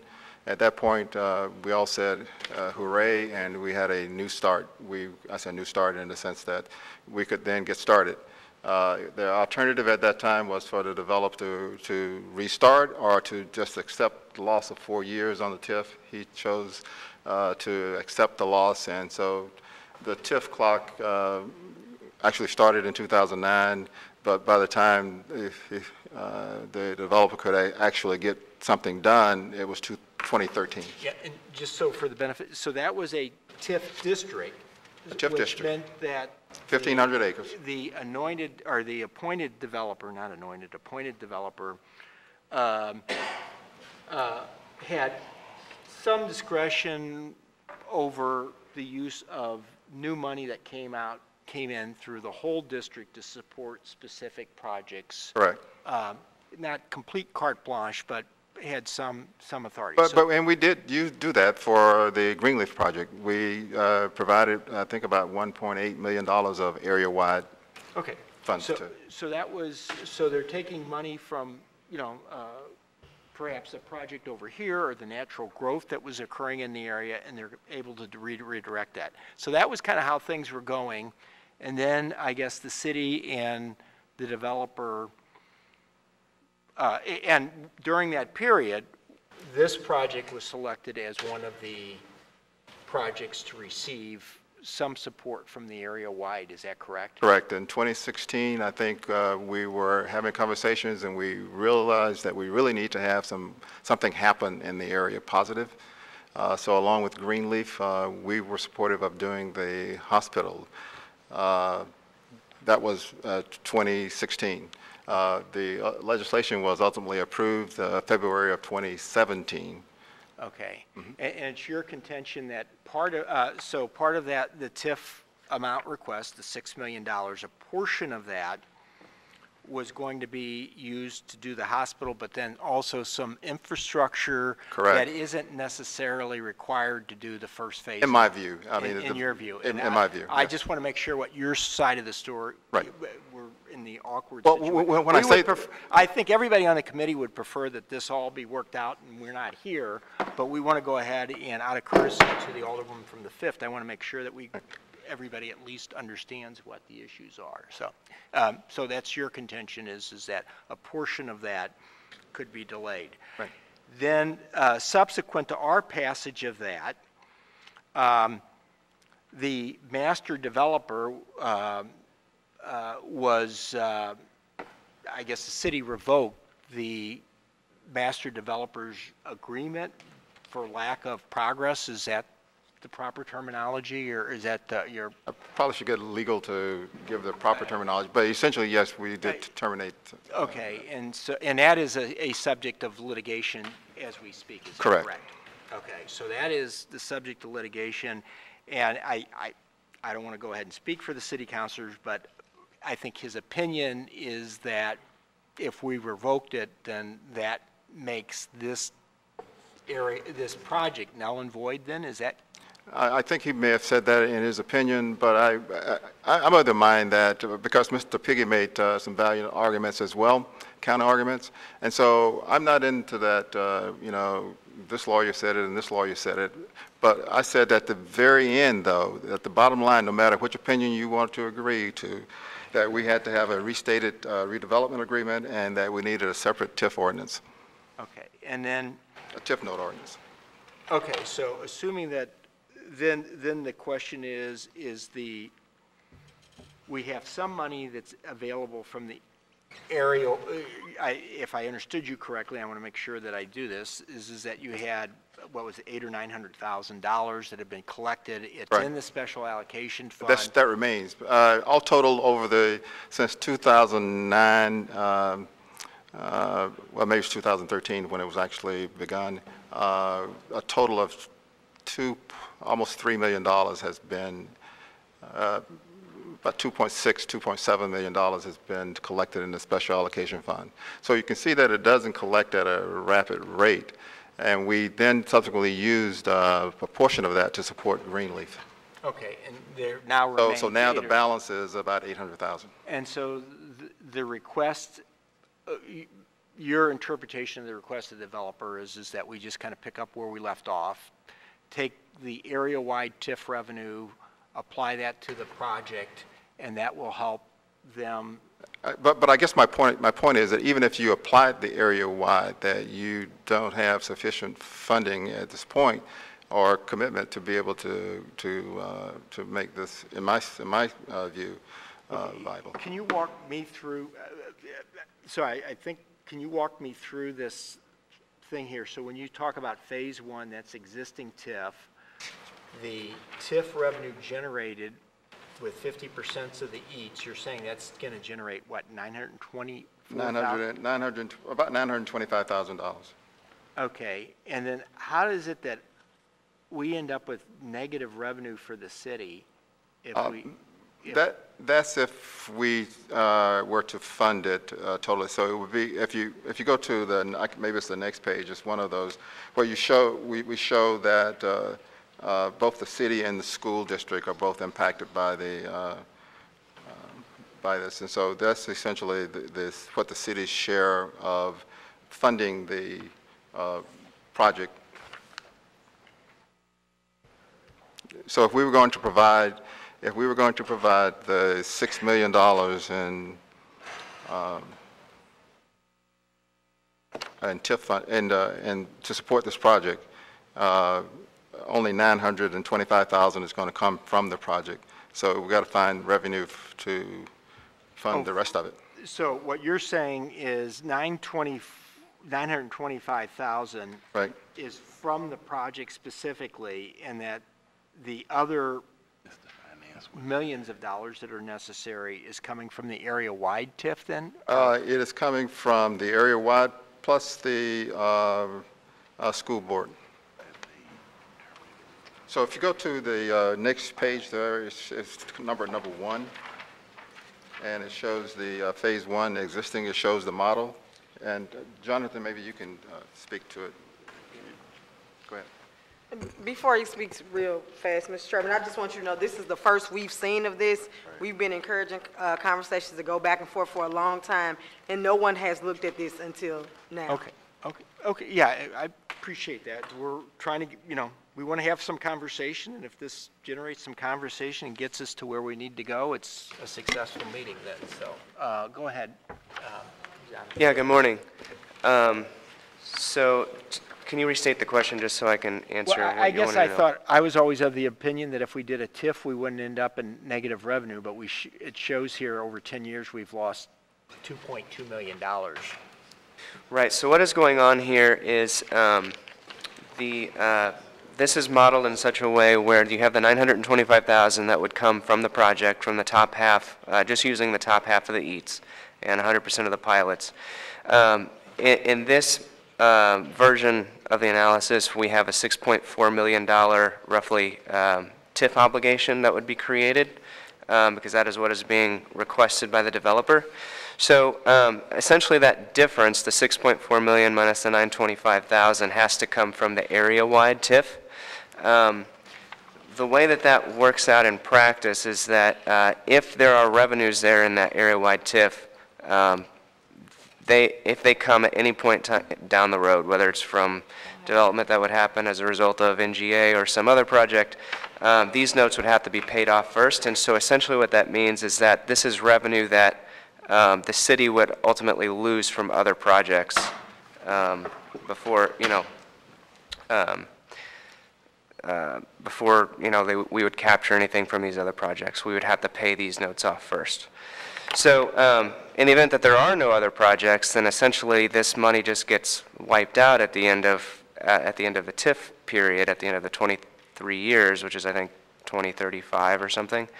But, um, but it- it definitely acts as a significant overhang um, on the entire TIF area. Um, And, and it- it's, a- it's a concern. And that's what happens if you only get Phase One, uh, if only Phase One happens. Um, And I don't know if it's worth um, mentioning the context of 2017, but um, in 2017, uh, in the February meeting uh, here in HUDZ, I uh, testified about this project. And um, I- if you guys care to look, it's at around the two-hour and 42-minute mark of that video uh, is where I I presented. Um, And I said at the time that this project uh, represents uh, a bet on the part of the city that Phase Two is going to happen. Uh, The numbers that we presented at the time just showed if both Phase One and Phase Two happens. That's essentially what you see in the Phase One and Two existing numbers on the third line of that cover page. Um, Obviously, there's fewer years now uh, remaining, um, so the, the- even Phase 1 and 2 will generate a little bit less than the 8 million that they're asking for, so you're still going to have to dip into the area-wide a little bit. Back in 2017, that was not the case. Um, Or alternatively, to dipping into the area-wide, you'd have to dip into the bottom half of the EATs. Um, But it's- I wanted to give you that context. Um, uh, So it- it's not to say that this is somehow suddenly different. Uh, I will say that my, um, I did find an error in my 2017 numbers where I overestimated the amount of EATs that would be generated um, by a little bit, not by a significant amount, but by a little bit. Um, So there was a little bit of uh, reduction for that, but um, um, Okay, so I- I I think, assuming we can kind of get through some of the legal obstacles that were raised by our city councilor, and the issue, as I understand it, is, is if we did it under the existing format, your feeling is, is, is that it would, basically, the, the project, if phase one happened and phase two did not happen, it would suck out basically all the growth of revenue from the whole TIF district into that project, and we would not be able to do anything else. Is that kind of your position? Well, not that we couldn't do it, it it would just, it would impact other things that we could do. And so, uh, you know, we would like to see Phase Two come along and uh, obviously sup- uh, support the overall uh, A- vision. And you're, you would like to support the project? Yeah, but a- and with- so- With less dependent on the area-wide TIF uh, revenues, but in exchange, you are willing to either lengthen or create a new TIF, which would create a- Longer period. A longer period to collect the revenue from the project, all alternatively, and we have not done, I mean, w- have, are there other projects that we've offered the bottom half of the TIF, TIF notes to? Uh, And the first uh, soccer uh, rendition uh, that we did, we did. Okay.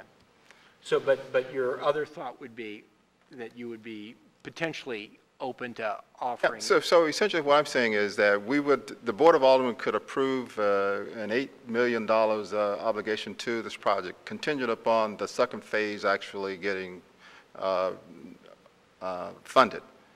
And uh, immediately upon uh, uh, clarification or verification of funding, you could then authorize the- the- that second phase to get started right away. That, the- the, uh, the first phase could get started, I mean, if it's one and a half or whatever that number is that we say is generated for that first one, provide that. And, ho- ho- okay, so that's, that's, that's the city's, or SLDC's position, is, uh, let me kind of go through, and then we'd like to go up and provide the developer an opportunity to respond. Alderman Boyd, do you uh, have any questions about what you think the current situation is, or what the issues are here? I have a lot of questions, but I'm not sure if I should just wait until after the developer speaks. Uh, But there is one question I could ask no matter what. Uh, I'm just kind of curious, Otis. um, So the redevelopment agreement was um, canceled, what, a couple years ago?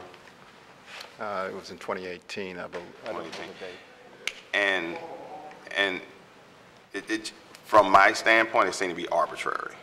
I understand, I hear you saying, well, nothing was happening, so you just took the development rights away. But certainly, a project that have been, seemed like 20 years in the making. I know, I think it started in, what, 2005 or something like that, something, the whole North Generation. Ear- Early 2000s. Yeah, um, there's been legal, you know, gymnastics, there's been a whole lot of complications. Um, I'm surprised that the developers still in business with so many lawsuits and all this, but certainly developers been persistent and saying, I want to do this, I want to make this right, I want to reinvest in this challenging neighborhood. And I'm perplexed as to why we would terminate a redevelopment agreement unless there's a developer in the waiting. So is there a developer in the waiting that we want to? That was the accusation at the time that we did it, as none has appeared to, to this date. We're over a year and a half later. So, So my no, I I take offense to that idea that, that we did it. We did it because at the time, we were in other litigation, and we found that uh, th- there were issues at hand. So I'm not going to speak to those. Right. Uh, So we, we basically moved in that direction because of it. Yeah, and I'm not being contentious. Okay. You know, I'm just saying what the perception is, because it, it, it- if you have somebody out there that's spending all this money, I mean, Well, you, uh, you gotta know uh, something is Alderman, going on. If, if you could, you know, uh, we work with lots of developers, and they, and they generally uh, provide redevelopment. In this case, we've been at it for a long time, and we don't have any redevelopment, Right. okay? And we've had developers that had several TIFs on the books and didn't do anything. And we terminated them, Yeah. But okay? they- We, but we we have a kept- hundred, but we we we kept have giving 143 TIFs, we've terminated 43 of Okay, them. now, if you wanted to, maybe, you know, I can go there with you, I know right? that. Because I we know know that. I'm just pyramid saying- I'm construction, just and I asked you guys not to give those, I was against those TIFs. I said he has too many on the books, he's not doing this, he was gonna do the, the center downtown, that and then you end up terminating them. Um, so it depends on, we pick and choose, and it depends on who the administration is. You pick and choose who you wanna work with and, um, how you wanna work with them. So, I, so let me ask you this. Sure. You terminate the redevelopment agreement, can you just reenact the redevelopment agreement? I think what, what uh, we said is that we need to restate the redevelopment agreement. Okay, need to restate it. Okay, I'll, I'll save my other questions for later. Okay. Thank you. Uh, uh, And Alderman, just, uh, we live in a political world. I don't, maybe this is my comments. I think perhaps part of the reason why the, the development agreement was terminated was some publicity about some sort of, some transaction with some buildings that, but I shouldn't, I, well, I shouldn't even go there. Uh, And I don't, uh, Alderman um, Coatar.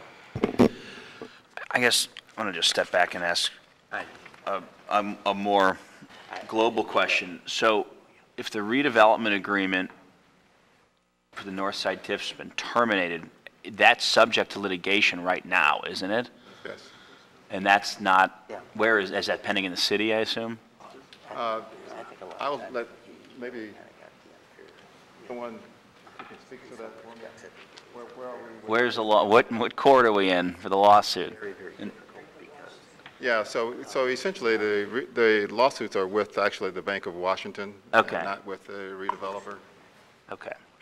Um, And so right now, if the, the- if the TIF, if the district-wide TIF's collecting any EATs, where, are they just going into, a? are they still going into a, a special allocation fund? Going into a special allocation fund. Okay. And I'm sorry, what is the, is the balance, did I hear the balance of the special allocation funds About approximately 860,000. 862? Yeah, about 860,000. All right. Um, And do we have sort of, I guess, projections? So saying we, if we didn't do this prod, or if, if we did nothing, if this project doesn't happen, you know, two years from now, do we have an idea of what the balance of the special allocation fund would be? Do we have projections on that? Well, um, so since 2013, uh, this project, I mean, this uh, special allocation fund has collected a little less than 3 million. Okay. So in six years, it uh, collected 3 million.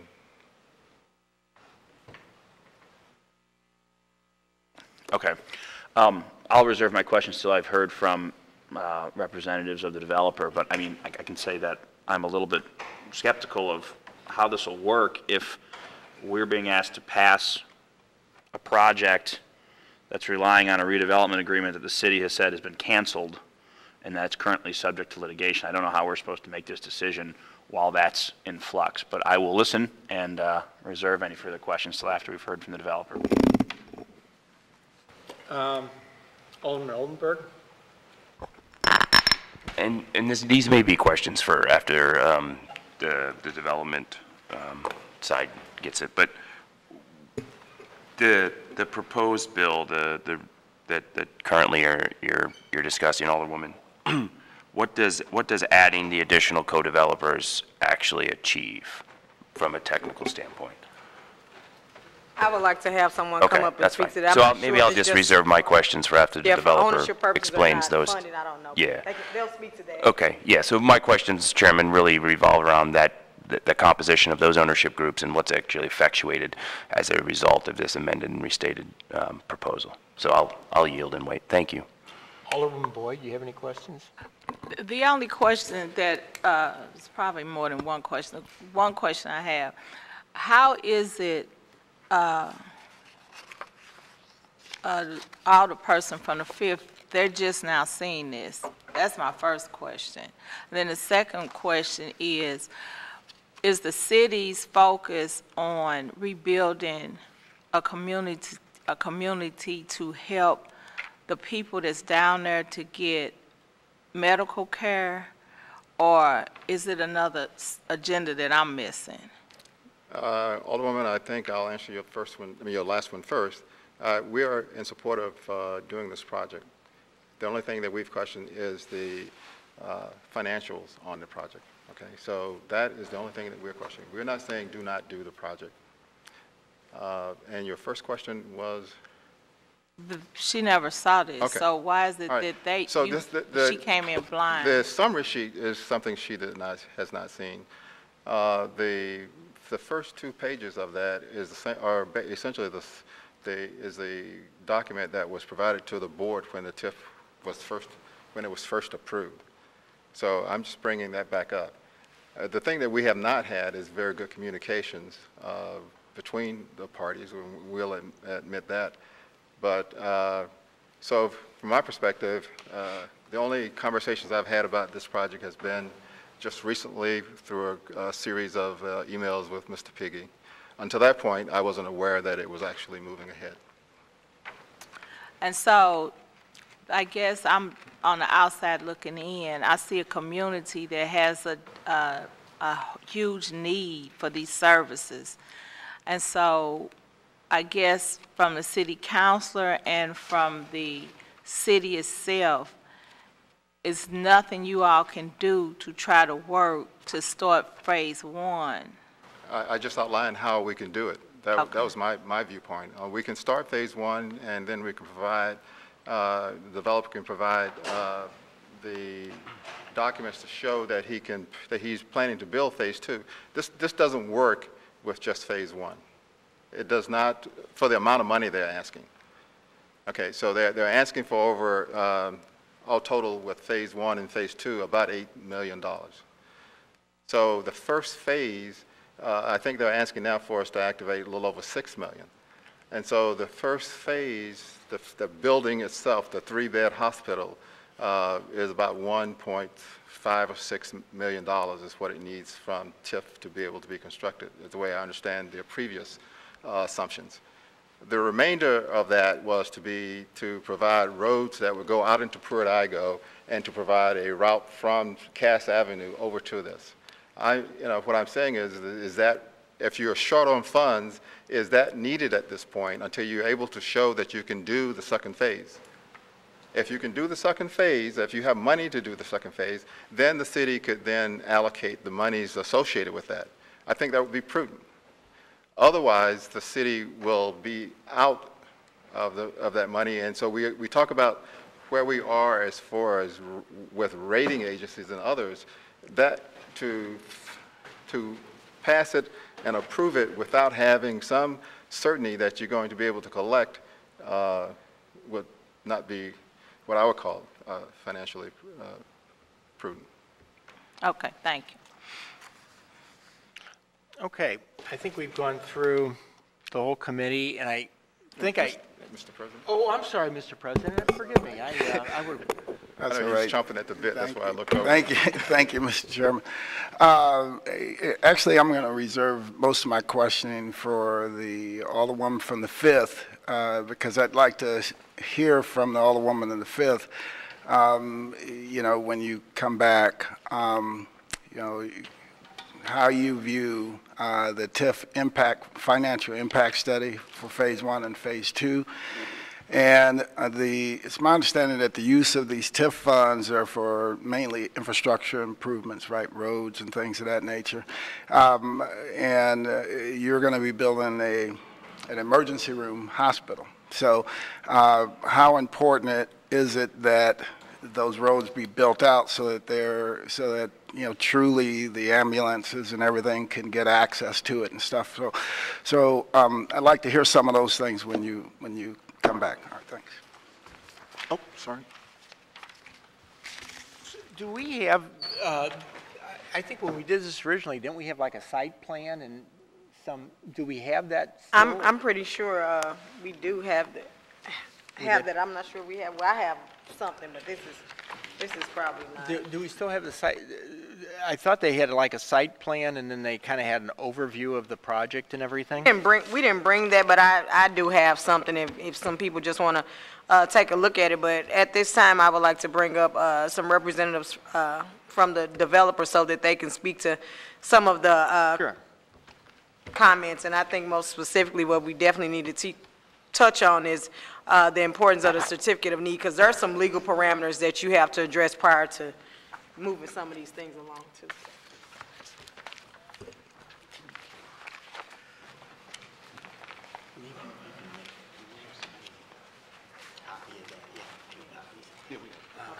At least enough for the people here, yeah. Uh, Good morning, Mr. Chairman. It's still morning. Um, uh, Thank you for um, considering this, uh, this bill this morning. Um, I've got a, a, a large group of people who can answer a lot of technical questions, Um, but I, I- there's some things that I want to address that were brought up in the uh, previous testimony that I think can help us frame where we are and how to analyze and look at what we're doing. Um, You know, first of all, um, you know, um, you know, I, I guess, you know, being a lawyer, I'm kind of not used to people bringing evidence to the hearing that nobody, the other, other side hasn't seen. So I really can't comment on, uh, on, on some of the specifics because we haven't had a chance to analyze it. I will say that, um, I don't know what priority could be higher for a, a, a TIF fund than, uh, than a hospital in an area that's a, that's, that's a health desert. Um, and I also want to, um, two, two other things I want to start off with. Uh, the idea that um, M1, which is the first phase, is separate than the second phase. That's never been the case. From the very beginning, in, uh, in, in 2016 and 2017, when this bill was passed, no one ever considered doing this project with just the um, uh, three-bed emergency room. That was never a consideration. Uh, Actually, the certificate of need, which gives us the uh, legal right to start a hospital, requires that we start with the three-bed emergency room hospital. Actually, one year after that hospital opens, we can order, we can then, without having to go back to the state, immediately start building Phase Two. Uh, Understand that the investors, and we have someone here can speak to that if necessary, um, the investors never considered uh, doing Phase One without Phase Two. That's never been a consideration.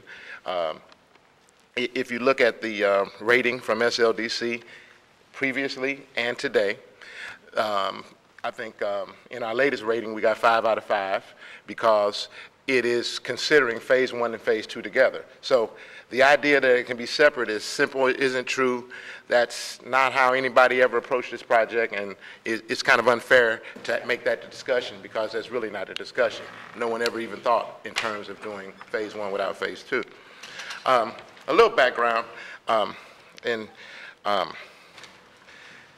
you know, I can remember um, in, in 2008, uh, Congress had a hearing in this very room, and um, just short, just in, to capsulize it, uh, in part of the testimony, I think it was uh, Congresswoman Waters asked um, Barb Geisman, who represented SLDC at the time, if there were any plans for North St. Louis and Pruitt-Igoe. This is in 2008.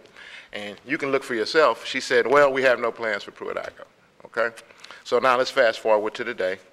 Uh, we got a developer. Uh, I will say, when I hear how we haven't had any success, I'm always uh, mystified why uh, NGA, the biggest federal project in St. Louis, is never included in the amounts, in the things that developers brought forward.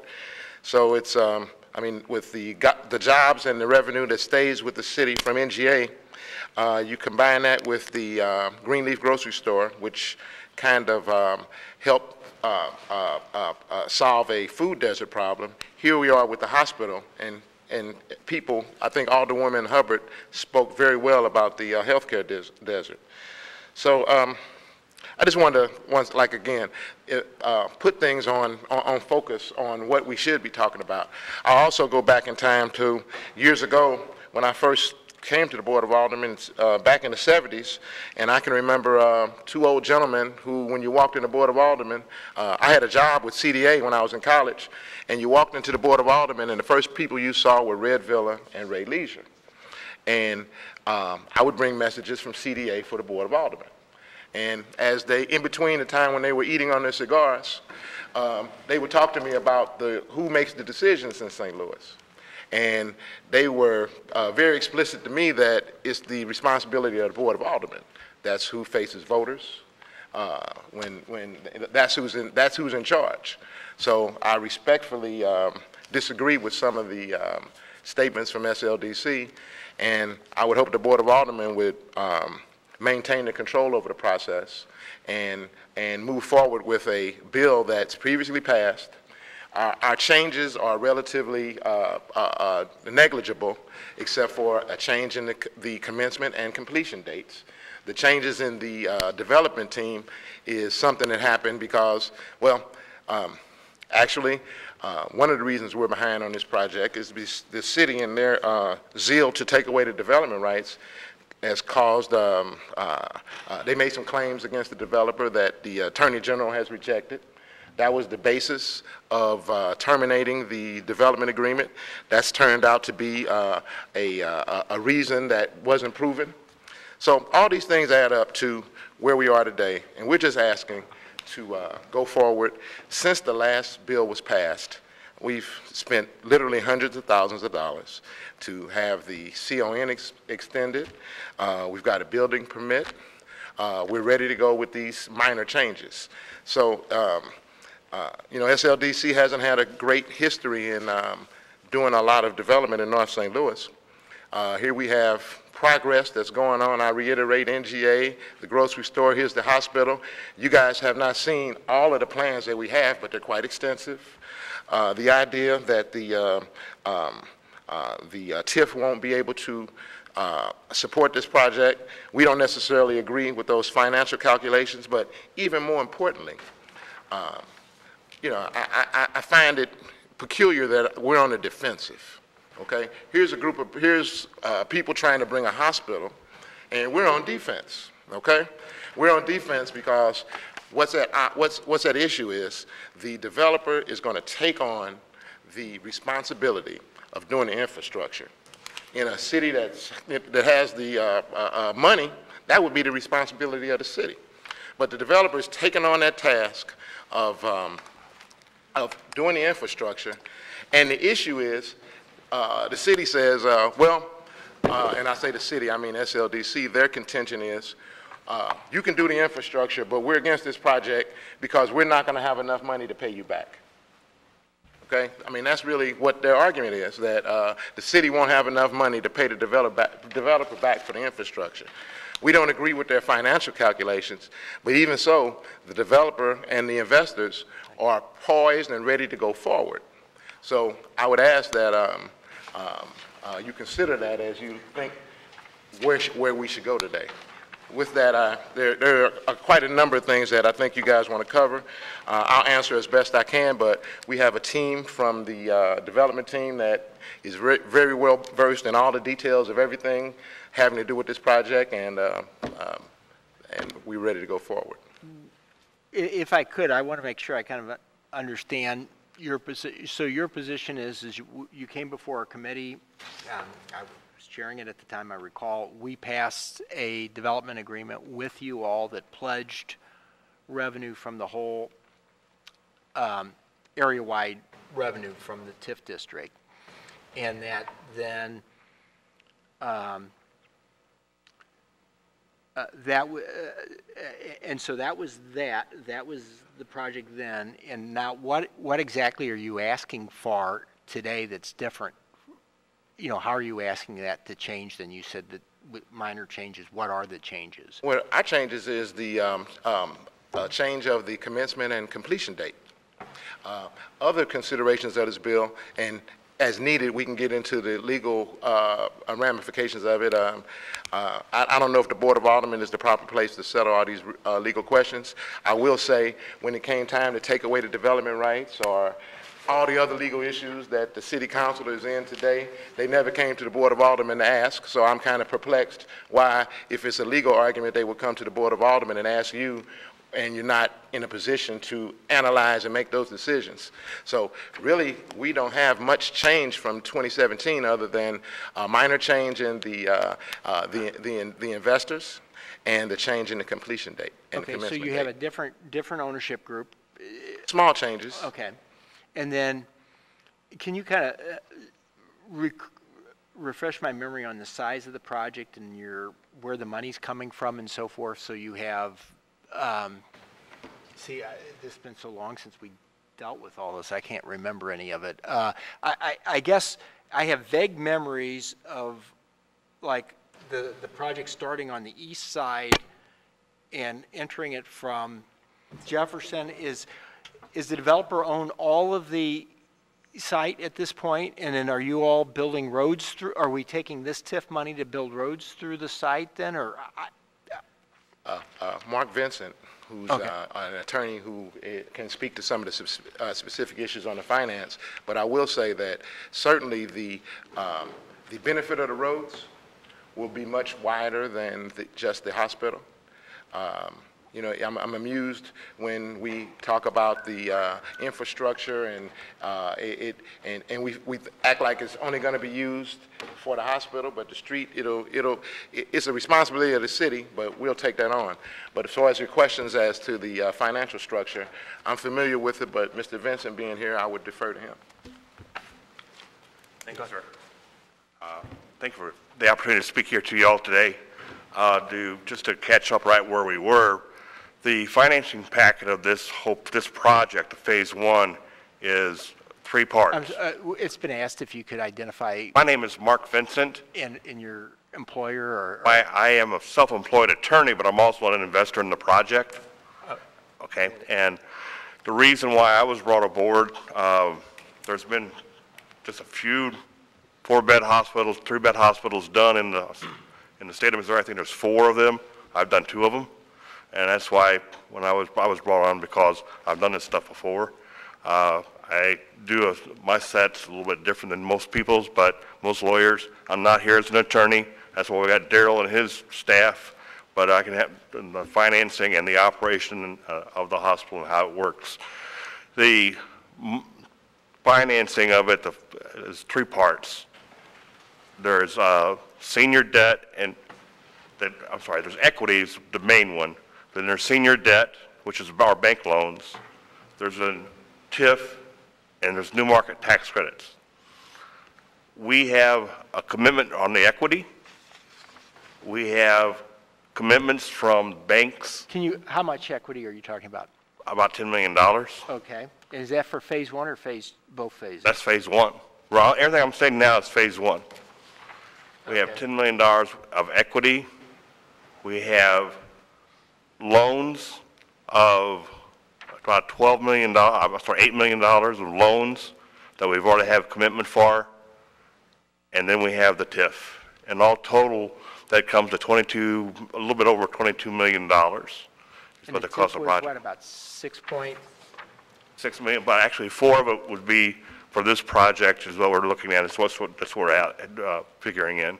is, is how much, did you say? Four point six million, I think, is what For this project? And then the six number is for both project, uh, for both phases? Right. Just $2 million to help with some of the infrastructure there that, but, so if you look at it all, the, the, uh, new market tax credit is kind of like a combination of equity and debt. We have an investor who's putting in hard cash of $4 million. We, we have, uh, investors that are putting in obligations that they have that total up to $6 million. Then we have $8 million of loans, and we have about $3 million, the $4 million of the TIF that comes into this project to reach the $22 million. Um, The commitments from the banks are there. They're solid. I arranged those. Those are done. The only thing we're waiting on right now is approval from the, for the TIF. As soon as the TIF has said we're go, we're good, those guys are ready to close. The new market tax credits will follow the TIF. We've been working with a national firm for years on the new market tax credits. We have the allocations, we have identified the buyers of the allocations. They just, they- once, we all have to see the TIF. But the, the total of it is 22 million and a little bit north of that. Um, And that's for phase one? Phase one. Of So- something that Daryl misspoke just a little bit, uh, is with the three-bed hospital, as soon as it's certified by CMS, if we wanted to, we have every right to start the second phase right then. We don't have to wait a year to start building. We can start building the day after certification. You can't open until a year after certification. So if this is, our plan is not to wait the full year after the certification of, of those by CMS of the first phase. It's to start building soon thereafter. So try to, trying to say that we don't need the additional money if somebody doesn't understand how the plan works and what the, what the expansion and how it's going to grow. So anyway, we've talked, met several times with the fire people, the fire department. They're very much interested in this project and how the, the emergency facilities that it'll, it'll provide and the access off of, I think Cass is critical because of that. Um, but anyway, I'm not in here as an engineer or a lawyer. I'm here as a, the banker and a businessman. If I can answer any questions on So- that. So w- the $6 million that, that, you don't need this, the last couple million of that until you do phase two, is that correct? Probably so, but, I- you know, that, that's kind of what we're, if you look at the models, I'm not going to sit here and tell you it's something that's not in the models. I've, I've worked enough with Mark Grimm. Mark Grimm knows that he and I have worked together on millions of dollars worth of projects. I'm not going to sit here and say something that's not correct. We've solved a lot of problems, haven't we, Yeah, Mark? I- I guess Uh, my, my concern is, is somebody working for the city, and I, Right. again, it would help if we had a site plan and They- I think it would- all of this stuff. We I think they'll be presenting us, one. Like a sources and uses and a phasing. If we had all that stuff before us, I think it would really help. But what, what I would be concerned about is, is, is that we go ahead and uh, create a TIF, you all build out an infrastructure through your 100 acres, and uh, the second phase never gets built, and we've just made your property far more valuable. There's only 34 acres there, sir. How much? 34 total. Thir- okay, what- Rhode Island's 34 acres. The Healthworks Village is the south 17. Right, Bill? You got this chart? I'm going to let them go with it. They have the charts and the diagrams. And, and do you, do we have like a written sources and uses of the phases and all that stuff, or? It's in, it should be.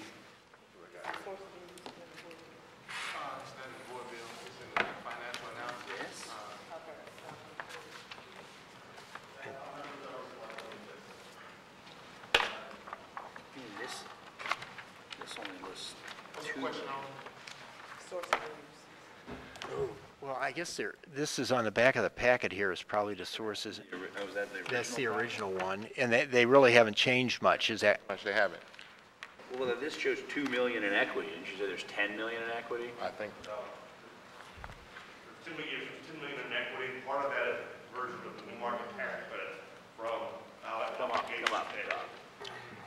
Sorry. The, new cash being brought into the, the to the program is $4 million, just cold, hard dollars. There's the obligations that people are incurring, all the personal obligations on the new market tax credits and, and the other, op- uh, the other debts. They are borrowing money that's they're responsible for, that they're taking and putting that into this project as equity, the total of $6 million. That makes the $10 million in equity. The project is not responsible for repaying that, that six, the second $6 million I'm talking about. Okay? The, we have no obligation to repay that. The company, the hospital, the property company, none of them have that obligation or responsibility. It's just a way of coming up with equity. It's like if you went out and borrowed money and took that money that you borrowed and invested it in another company. That's Right. all we're doing. And whose, whose, uh, whose new market tax credit allocation are you using? We have a couple of them. Okay. You gonna tell us where they're coming from? Okay, I can tell you, uh, well, all right, I would, you got to, well, no, Alderman, um, uh, unfortunately, uh, there are people behind uh, the curtain who uh, are trying to undo what we're doing. So we're kind of circumspect um, about uh, uh, uh, being public with uh, who exactly is, um, uh, who, who- who's going to fill that role, because there, unfortunately, there are those who kind of represent the city that kind of go behind and try to undo what we do. Okay. So we're kind of circumspect about that, not out of disrespect or anything, and I'm, and I'm sure off, offline, we could, we could, uh, uh, uh, uh, discuss that, but that's a hesitancy because we've actually seen representatives from the city try to undo what we do, we're doing behind the scenes, so I, I think, but, uh, you can rest assured that, uh, the effort that we're putting forth, uh, would not be there if we didn't have, uh, the financial stack in place. Understood.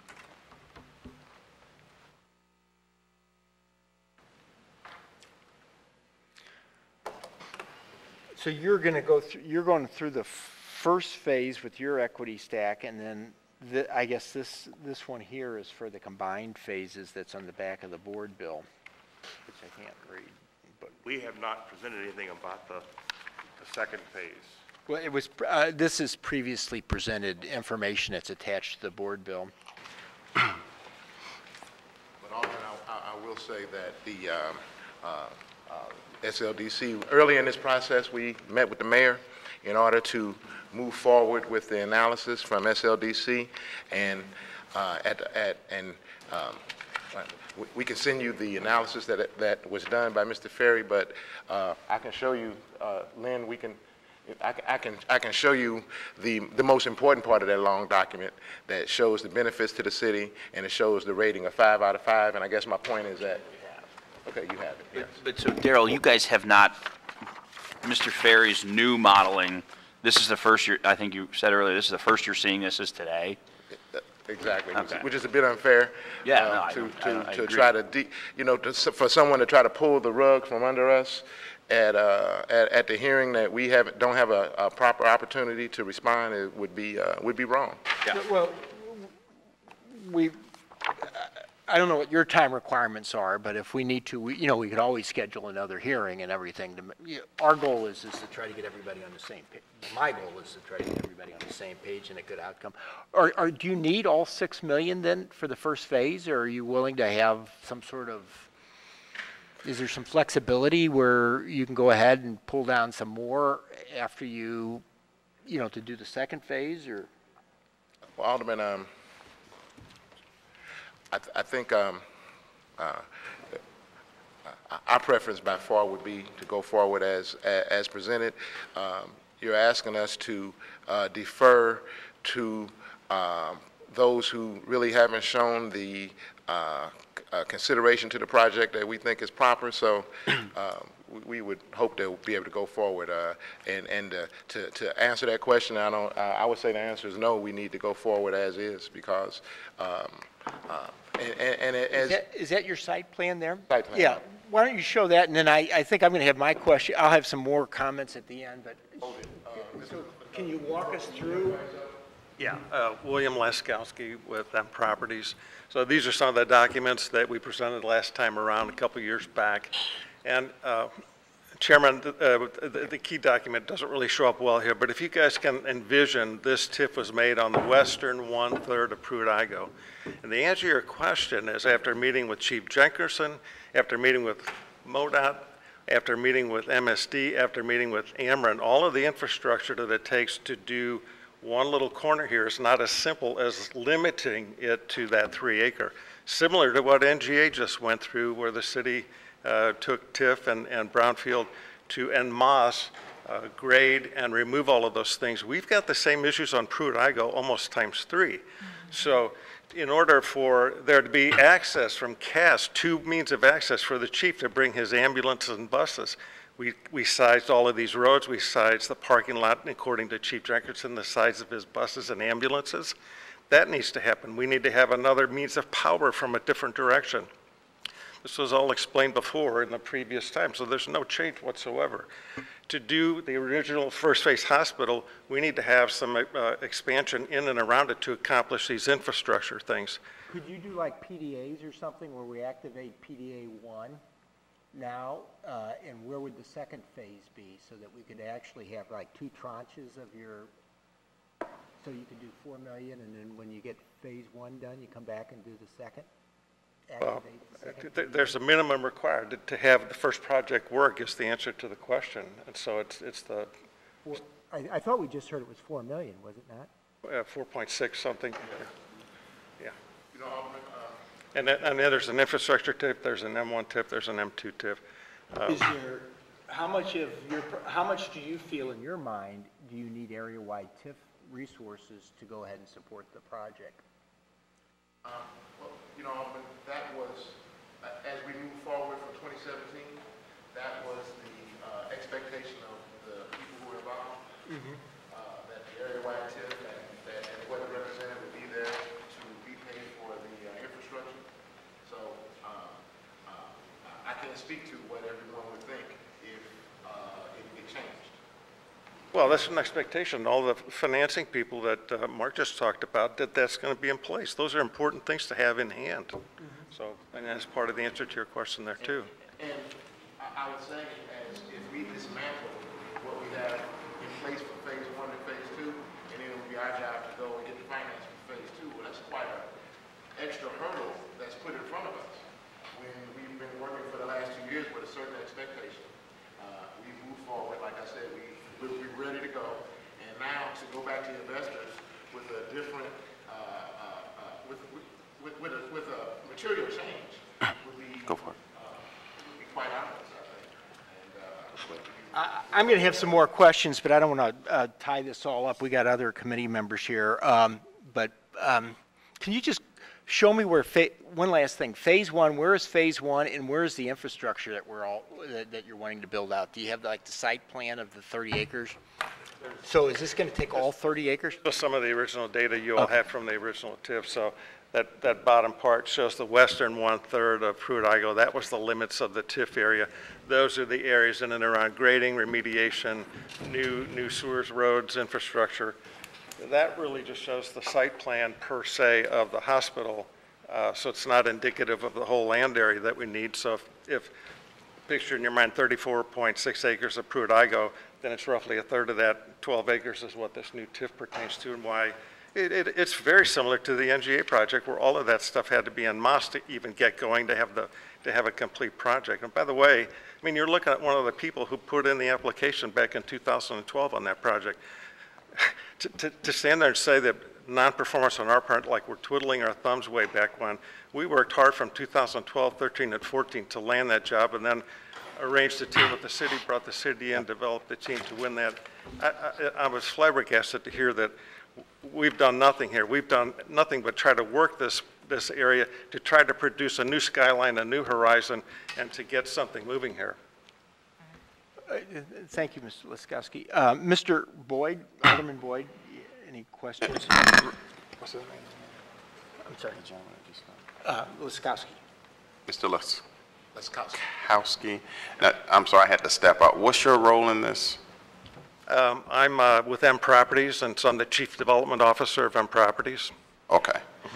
Um, Mr. Peggy, is the city guaranteeing this TIF? Well, I think, If you fall short, the city got to, obligate to pay any money out? um, no. I think if it came up short, the developer would have to hold a bag for paying for the infrastructure if it wasn't paid back, which is something that they've, we've considered and are willing to go forward. And so the clock has already started running on the TIF, right? Certainly. So how many years we have left on it? I think the number is maybe 13. 13, and your development team feel real confident that in 13 years you can pay this off? Yes. Okay. And who gets to make that decision on if you're financially solvent to be able to do that? Well, I don't know if it's a question if we're financially solvent. I mean, maybe solvent is not the right word, but financially capable of pulling this off in 13 years. Who, whose decision is that to make? Um, Well, I think um, through the um, financial analysis that's taken place already, and the fact that Phase One and Phase Two together get five out of five, I think that's, uh, all parties involved agree that Phase One and Phase Two are financially viable. Okay. The question is, if we try to separate Phase One, which we've never tried to do, and is not the proper way that we would want to go forward, so. Okay, let me ask you this way. So, so is it the city's responsibility to say you're, fin- it's financially feasible for you, or is it you as the development team uh, obligation to say if you're financially feasible, if it's financially feasible? Whose decision is it? Well, I think, I mean, ultimately, it's the cities. It's the cities? Yeah, certainly. I mean, we, um, if not, we, we probably wouldn't be here. We, we'd be gone, we'd be already doing it. So certainly, it's the city has the, is the final decision maker on the uh, viability of the TIF as part of the, uh, the uh, uh, stack of finance for this But you have to demonstrate to the city that you uh, can financially pull this off, right? And I think that's been done, Okay. without doubt. It's You been you done think, already. without a doubt, It's okay. been done. It's why we got five out of five. But Okay. the question comes up if we try to separate M1 from M2, but that's not a proper analysis. Right, and so what I heard your investors say, that basically, after you build Phase One and get certified, you're gonna go ro- right into building Phase Two, is that correct? Alderman, without doubt, if Okay. we could start building the large hospital the first day, we would. But the process through the CON is we have to start small. Right. But without doubt, the goal, and, and, and, I mean, it's not on the table right now, but there are a lot of plans for that this three-bed hospital kicks off, uh, um, I mean, uh, it, it kicks off quite a few different uh, medically related developments at that site, including a medical school. Uh, um, um, and, I don't think it's a secret anymore that, uh, you know, the, the hospital's going to be named Homer G. Phillips Hospital, okay? And I think that's significant because you can't ignore what the financial impact of this hospital is going to be in this neighborhood. You can compare what it did to the Ville. If you've been in the Ville lately, you know that uh, after 1979, it started a great decay, and the biggest uh, uh, uh, start of that decay was the removal of the hospital. So now we're trying to reverse that, and uh, the, the economic impact of this project is much greater than trying to isolate the uh, uh, three-bed emergency room hospital as the, as a, as a, as the end, because it is just the beginning. And you, and it's not proper to evaluate this if you don't see the overall picture that we're trying to paint and what it's going to do for the uh, city and the commu, and the Okay. neighborhood around it. So let me have the developer, I mean, the investor come back up. Yes, sir. Um, So it's a $22 million project, Phase One, right? Yes, sir. Or a little A above? little, a little bit over north of And that. Phase Two is how much? We don't know yet, but, because what we're val- trying to do right now is, we've been requested by the fire department, and we're working with a company out of Texas to put in a behavioral health facility Mm-hmm. on, as part of that, and we're trying to get the firm commitment on how many beds would be a general hospital and how many beds would be devoted to behavioral health. But, uh, Bill, have you got that all? Way I'd answer that, uh, based on the original TIF which we put forward before and given to the city, it's roughly valued at 52 million, something like that. 52 So million. That's the scale because you always have to be careful that the TIF award can exceed, exceed a certain percentage of the total prof, um, project. So both phases were in the 70, 70, 75 million dollar, if I was remembering it. Now, what Mark's talking about is, he's tweaking that, he's making adjustments. And um, how committed are you to Phase Two? Phase two? Mm-hmm. hundred percent committed. 100%, and you have, you will have money in that project as well? Personally invested, yes. Heck, Yes, sir. All right, I have no further questions. Thank you.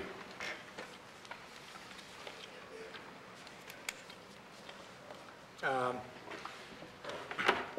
Alderman Coatar. Thanks. I think I'm going to back up and just ask very generally. I'm- I know Phase One's a three-bed ER and I guess urgent care. What what all does Phase Two entail? Can somebody, maybe we covered that earlier and I just missed it. We were looking at a hundred, we- when, before we discovered how much, how critical behavioral health was, we were looking at the second phase being exclusively a general hospital, where we had, you know, like probably a hundred-bed hospital. We've got to find, we found out, and this is after a lot of study, that the, one of the biggest needs in St. Louis and the surrounding area is mental health. So what we're probably, we're looking at now is taking that 100 beds and allocating them on a three-floor, three-story building. So the phase two would be part general hospital with the top floor being behavioral health. And that, that's what we're looking at right now. So somewhere around 70-30. And then as that fills. 70, 30 general to behavior, se- Yes, sir. 70 general, 30 Yes, sir. behavioral? 70 general, 30 behavioral. And as that fills up, we would go to th- the third phase, which would be a general, just, I'm sorry, we would convert the third floor of, beh- of the, that was being used as behavioral health back to general he- hospital and build a behavioral health hospital. Okay. And uh, who's managing, I mean, assuming this all gets built and everything, who's actually, you know, providing the care? Who's managing the hospital? Managing the hospital, sitting right back there. His name is Fred Mills. He's the former CEO of Missouri Baptist here in St. Louis. Okay. He's the brains behind the operation of the hospital. And sir, you mentioned you've had some, you've done some other um, small, I guess, two, three-bed Yes, sir. uh, hospitals. Where, where where are those? They're in Missouri, you said? Yeah, the one here and Patients First Healthcare in Washington, Missouri. Patients First? Patients First, that was the one that went to the Supreme Court. And uh, as soon as we, as soon as Patients First beat Mercy, Mercy bought out Patients First. Okay. And what's the other one? Uh, There's two other ones down in southern Missouri, and I was not involved in those. I was involved in two out of four. Okay. Thanks. Okay. Nothing further for now, Chairman. Um, Alderman Oldenburg. Sure. I'm still having trouble validating the flow and, and the financing. I mean, it's been represented that, that you have the balance of financing, but I think when, when asked from the Alderman from the 7th on some of those salient details, uh, it's, we'd rather not say. I know, Mr. Chairman, it's, you know, it's always been my um, obligation down here to really scrub where the balance of money is coming from, particularly when public subsidy is being requested, that we have evidence of wherewithal, that we have evidence and/or commitment letters in hand from lenders, um, and any other federal and/or local state subsidies and programs that may be there. So I, I think it's, I think this is a, a worthy project, worthy of, of our best efforts in trying to figure out that the capital stack balances from a sources and uses perspective. But there's, I feel like there's a limited amount of information for me to make a decision with, where's the senior loan coming from? Do you have commitments from community development entities? And what amount of allocation is that? At what pricing? Is there an investor letter of intent? Those are all salient details that I think is worthy, particularly given the swirl of controversy around this particular develop, larger development and TIF and agreement, that we have those. Because I want to find a way to bring this infrastructure investment to this, to this particular borrower. So those are questions and/or information that I would love to see before I can render a decision in, in putting this project first. Tell you right now, Daryl said I could do it, so. Okay. I'm not the lawyer in this gig, so, uh, Sure. um, start with the loans. Yep. You said an $8 million senior loan. Total 8 million. There's three different pe- uh, entities involved. Okay. United Bank of Union's 3 million. Yep. Carpenters Local, they, the, uh, bid the council, the St. Louis, Kansas City District Council of Carpenters, Okay. uh-huh, at 3 million. Okay. Sterling Bank located in Clayton. Yep. Um, Actually, they're out of Poplar Bluff, 2 million. So there's you, there's your $8 million loans. Okay. New market tax credits, the allocations come from Central Bank of Kansas City Okay. and um, Baker Tilly, one of the big new market tax credit firms. Would you agree with that, Mark? Yeah. Uh, uh, In the United States, has their own fund, and they're putting up the rest. Okay. So Baker between, Tilly. between Central Bank of Kansas City and one of Baker Tilly's affiliate CDEs, you're coming to a 20 million or a 22 million dollar allocation? $22 million allocation. $22 million allocation. Okay. Then there's the investor's equity, so that's it. Right, but so that's the allocation. Do you have an investor or the- or someone who's monetizing the credits from? We do. We And- have, Central Bank is also going to buy them. Oh, okay. Yeah. Good. Uh, we have, all that's in place. So as soon as you guys say go, we can close in 60 days. Got it. So part of your $10 million equity number actually was a net, net number of 6 million from the new market tax credit equity, which, which is technically characterized as debt, but in a low-interest loan product that then is forgiven. That's correct. Okay. Yeah. You- Yep. You've got it exact, trying to explain that is hard, so you, but you you have it exactly. I've taken an interest in tax credits actually Okay. lately. So, Exactly. okay. Well, that, that's helpful. Um, So there's a else I can consortium of banks that are getting you to your 8 million, so you're effectively going to try to get somewhere between 14 and 15 to leverage in to make sure you can realize that $6 million net benefit. Yes, sir. Excellent. Yeah. Okay. And we've got commitments, so. Okay. Um, I would, I would, I don't know if this is prudent, but I would love for those commitment letters, if they could be shared with the committee, or we re- request that, that there be evidence of that. We have Um, term sheets on those. Okay, yeah, a- anything. I didn't that- bring them with me today. I, I understand, no, no, I mean, at, it- at, at any point in time, it'd be great to see those. And then I had maybe just some technical questions about the ownership. So it looks like two different, two additional co-developers are being effectively added to, to this, and, and why is that, and what does that effectuate, and how does that help you?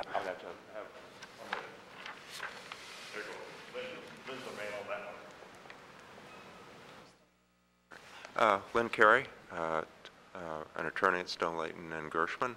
Uh, We're representing the uh, developer and the development.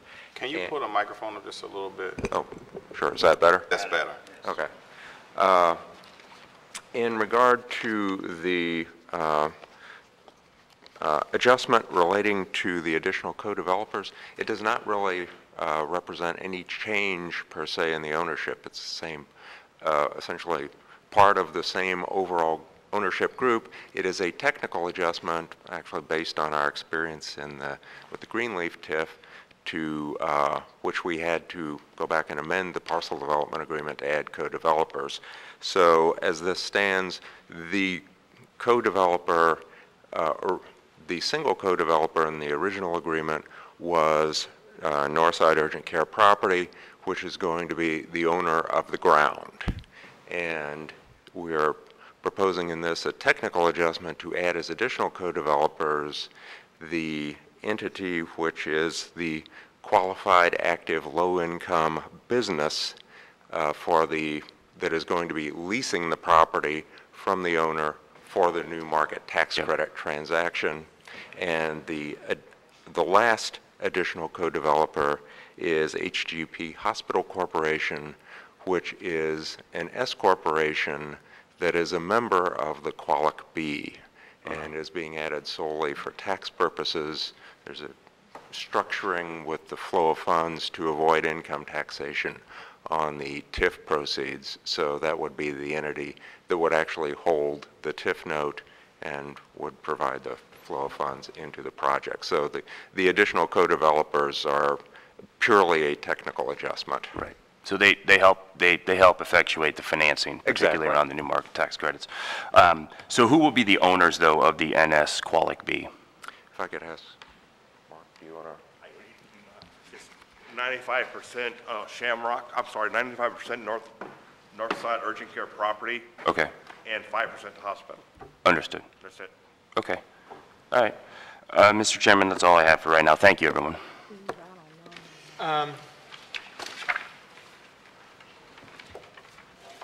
Alderwoman Boyd. No, I'm learning. Uh, Mr. President? No question. Okay. Um, Here's where I, I'm going to try to paraphrase, I think. Uh, or One last question. What is, excuse me, We have someone else that needs to speak as well. okay, Mr. well, Chairman. one last question. We'll bring up your final speaker, and then we'll try to uh, figure. Phase one versus phase two. So you do phase one, you got your certificate, need and everything. What other obstacles are there to stop you from getting to phase, phase two done? Do you need to get a certificate of need? Is there, uh, do you need, The building permit, that would be the so only thing. you that- have financing now for phase, phase, Um, eh, We don't have the sources and uses that, that, that we can present to you, Alderman, because we, we're trying to work on this part of the, uh, Phase One first. Uh, That will flow as soon as we are, are, uh, get Phase One, um, with, with the, the TIF to go forward. Um, But there are no administrative obstacles that, uh, we face before doing Phase Two. Like I said, I think it would be the, the building permit, which is pretty much Okay. routine. That's Okay. all we'd have. We'd- okay. all we'd need. Uh, Bring up your final speaker, and then we'll kind of try to wrap this up for today. Thank you, Mr. Chairman.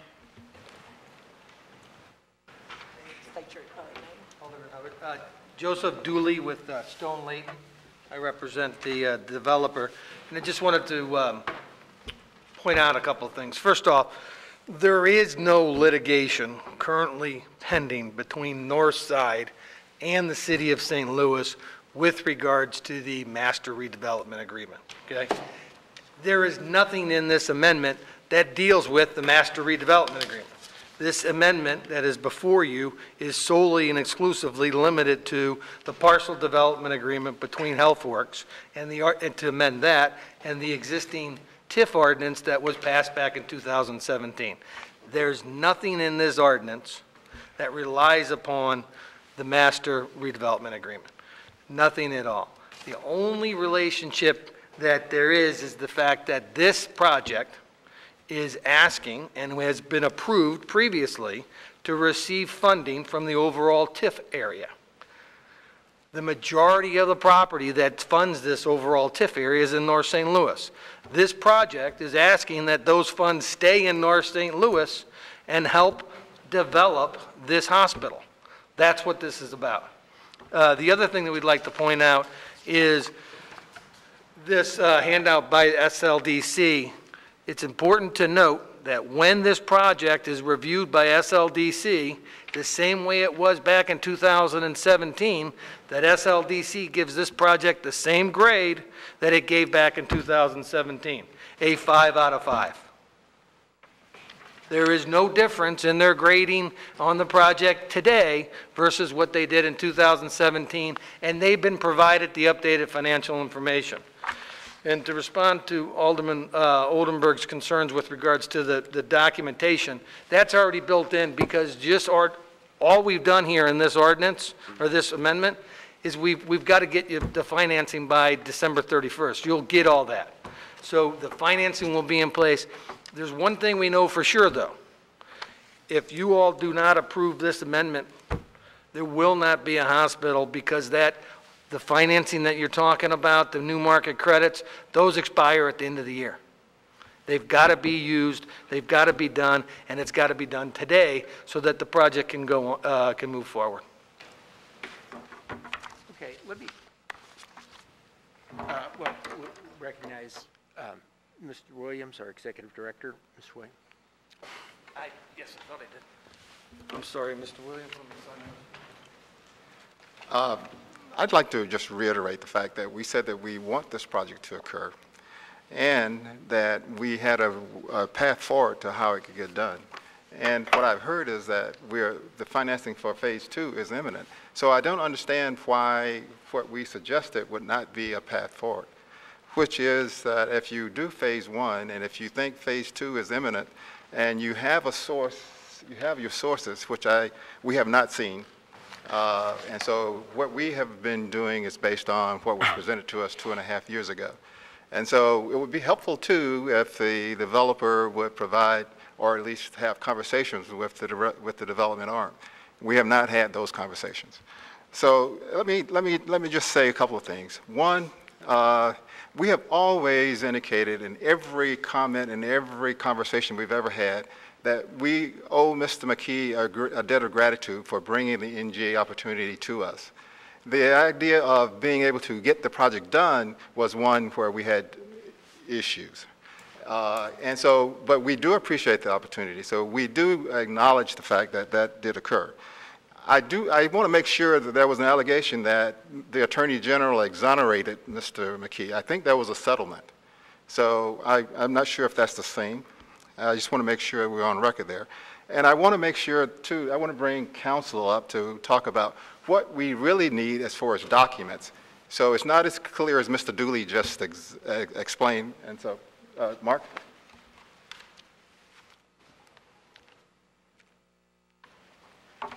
Hi, I'm Mark Grimm with Gilmore and Bell. Um, The parcel development agreement, so aside from the other issues that have been raised, uh, from a legal standpoint, the parcel development agreement um, has a lot of references to the redevelopment agreement that has been terminated by the city. And so um, Mr. Piggy, uh, in Mr. Piggy's uh, letter to the chairman from September 24th, Mr. Piggy suggested and that the um, agreement be rewritten to eliminate the cross-references to a terminated, now terminated redevelopment agreement. We agree that, with Mr. Piggy that that's a very good suggestion. Uh, and we strongly encourage uh, the committee to take Mr. Piggy up on his suggestion. Um, Secondly, the TIF note ordinance that was previously approved and and, uh, pursuant to which the uh, parcel development agreement refers, um, uh, uh, we believe is problematic because it cross-references um, uh, 70525, which is the ordinance that approved the prior parcel development agreement. And so as- as, um, aside from what you think about area-wide revenues or, or not, no area- area-wide revenues toward the project, from a legal standpoint, um, we think that um, Mr. Piggy's correct. The the parcel development agreement needs to be rewritten into a revised redevelopment agreement um, that doesn't reference a terminated redevelopment agreement, and that there needs to be a TIF note ordinance. And I think if you uh, um, would ask the uh, Comptroller's Counsel, um, you don't have to take my word for it, you can ask uh, the Comptroller's uh, uh, Counsel uh, his opinion on, on the, whether TIF notes could be is- issued under that prior um, ordinance.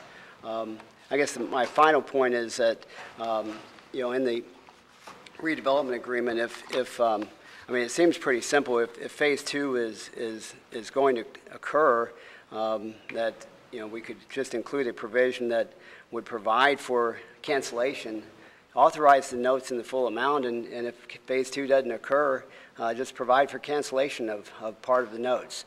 Because, um, you know, I think the point has been made, and, and no one has contested that if Phases One and Two happen, that it's a five-star project. And so it seems to me the simple answer is to um, just provide that part of the TIF notes are are canceled if Phase Two doesn't occur. Thank you.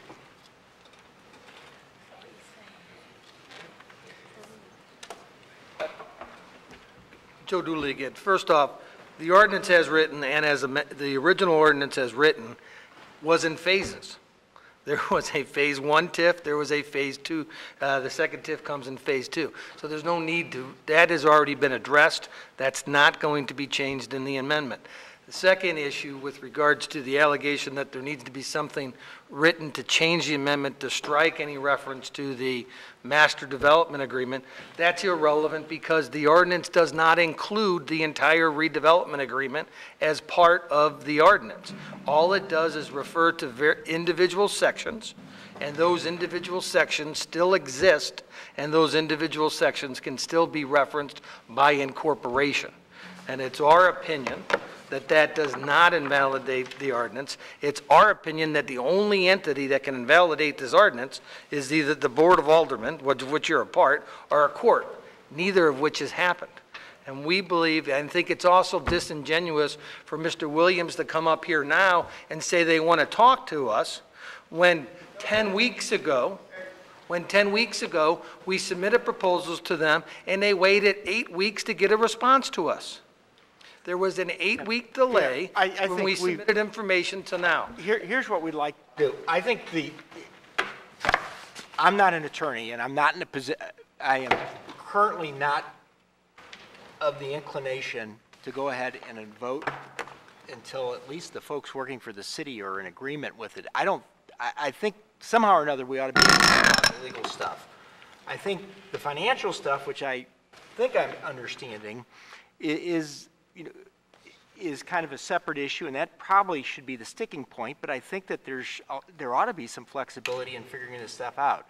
From the city's perspective, if I understand SLDC's concern, is, is they're worried about going ahead and pledging area-wide revenue to a project that gets Phase One built, and suddenly we'll be collecting revenue from this entire area 10 years from now to pay that off if that second phase doesn't get built. On the other hand, if the second phase gets built, we probably won't need the area-wide revenue. So somewhere in here, reasonable heads have to prevail.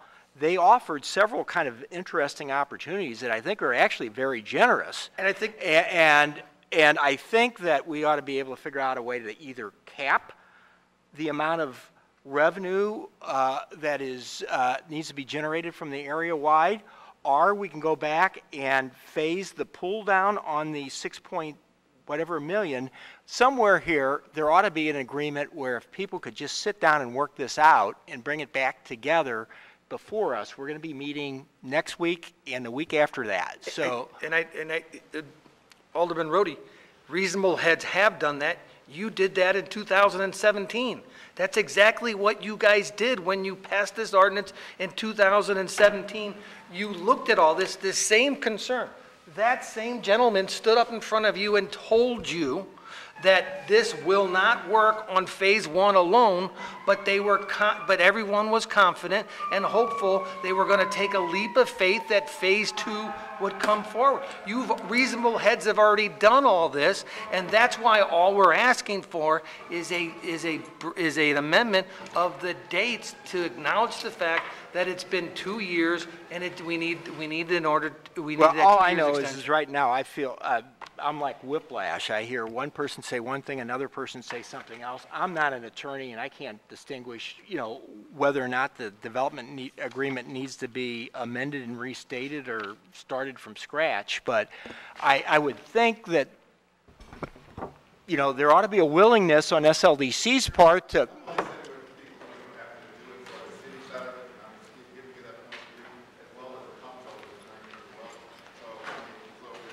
Well, that should be a small piece of this puzzle. I mean, if we, is that not? I mean, is that just the legal, I mean, somehow or another, we ought to be able to come up with.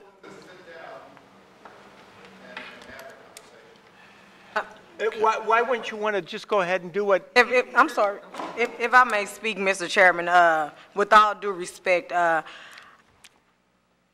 although you may have some faith in that process, um, me representing this community and someone who's been literally beat over the head since 2011, since I took the oath of office by simply being affiliated with Northside Regeneration, I just don't have that faith in the process with the city. I mean, just like he spoke to today, uh, we've been talking about this for months, and there's been no communication, and I thank you for your leadership in at least making SLDC communicate, because it, it was myself, uh, uh, Mayor Krewson, uh, Paul McKee, uh, people from the Carpenters Union, we all sat at a table and discussed this. We all know that in the past, uh, Mayor Krewson, she, as an alderperson, she voted in favor of this. Um, Conway voted in favor of this, and so there's been so many moving pieces to this puzzle, and there's been so many legal woes and so much back and forth regarding the whole process.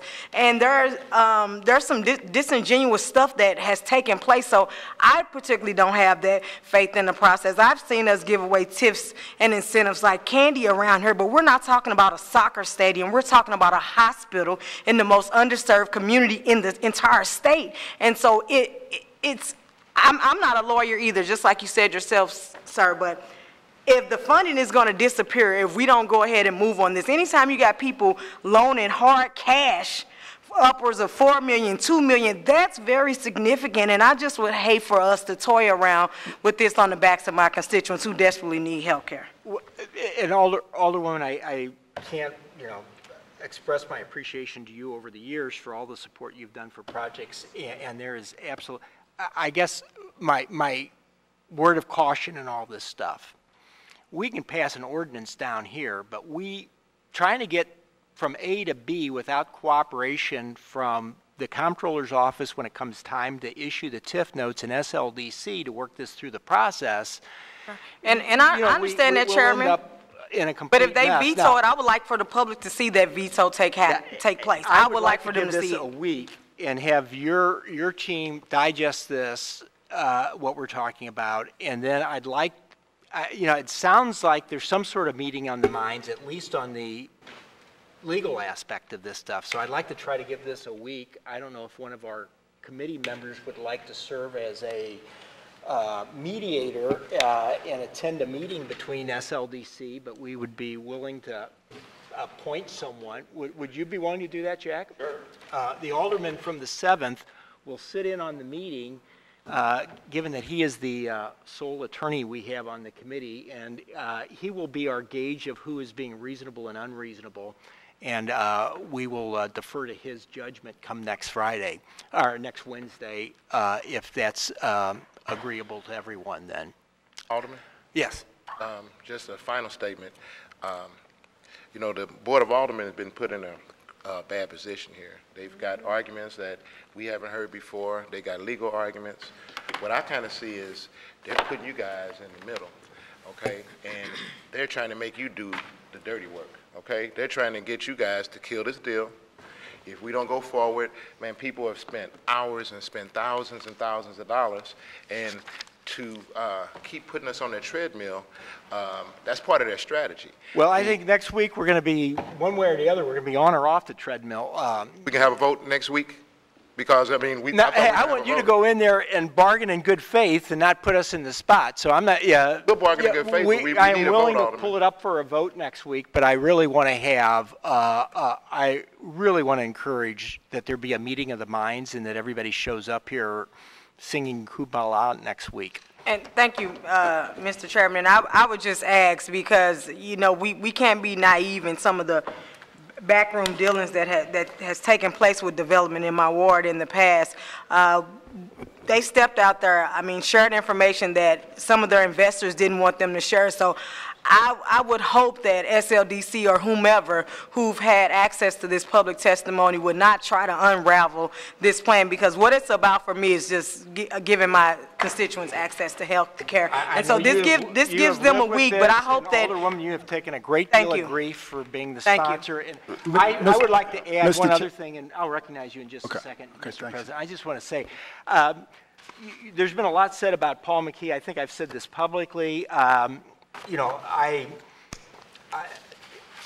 I, I'm not firsthand knowledge of a lot of the things that went on up there, but, you know, uh, to his credit, he was able to get a a tremendous amount of, of federal support. I think some of this uh, has been unfair on his part, and that, that uh, one of the biggest challenges of, of real estate development, particularly in an area, uh, you know, a depressed area, is site assemblage.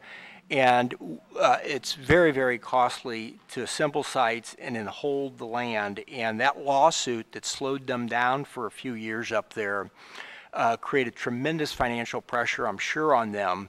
And that, um, you know, really delayed the project, I think, and I'm sure it had an impact on his financial ability to, to do things. But I, I, you know, I, I can't comment on some of the other things that have happened up there, but uh, that is a, that certainly was something that, at least in my mind, was a setback. So, um, uh, Mr. President? Yeah, uh, Mr. Chairman, uh, uh, at your discretion, I would like to also request that the alderman from the 22nd attend those meetings if he could. Uh, He's very knowledgeable on these types of development issues. He's knowledgeable about the area. Uh, You know, as the chairman of the caucus, he understands some of the many challenges that, um, that, um, you know, the other aldermen from North St. Louis face when trying to put forth developments. And he's dealt with SLDC on many, many of these very similar type issues, so I'd like to, you know. And he's my representative on the planning. He's your ma- board. Are you representative. So if he will this, uh, accept- A tremendous responsibility, Alderman, from the- C- Certainly I do, but I want to say this, if you don't mind. Um, I am frustrated that we are put in a position to be judge on a jury trial. That's what I feel like we've been presented today, lawyers on both sides. This is a project that's been in work for a long time. I cannot comprehend why SLDC has not made movement on this in some type of cooperative way before now. N- No. But what I do want, I, what, see, sometimes you have to put a fire under people, and you have to give them an incentive to do what they need to do. And I would prefer to vote the bill out of committee and let them work it out and do a floor substitute. That way, we know for sure they have an incentive to work on this bill, to get something done, because it's hitting the floor. That would be my preference. Because I don't have the confidence that they're gonna do what they really need to do. It's going to be a slugfest because that's what it seemed like it's been all this time, and it's a disservice to people in the African American community. So, you know, I, I'm going to make it, Mr. Chairman. You you can accept it or not, but I like the move that we pass Board Bill 103 out of committee with a due pass gonna ask that we recommendation. Second. Do I, what are our rules? Do I have to recognize that? Uh, Alderman, I'm going to vote against that today. Next week, you might get my vote, but if you want to go ahead and proceed with this, then we, I'd like to take a Okay. vote. all right. Look at the sheet, 'cause I don't have it in there. Uh-huh.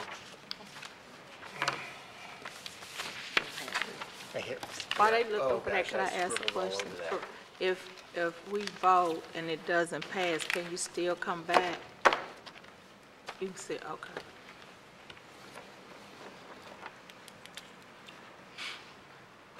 Madam Clerk, call the roll.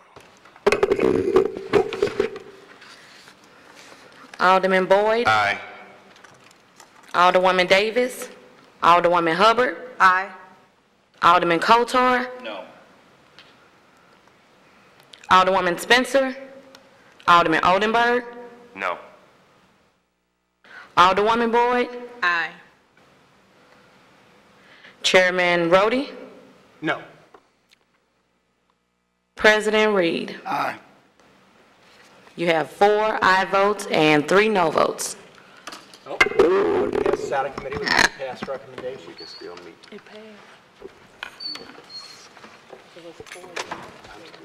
Jeff, I don't, charities committee without. How they need to talk. How they need to talk. This is crazy shit. Talk.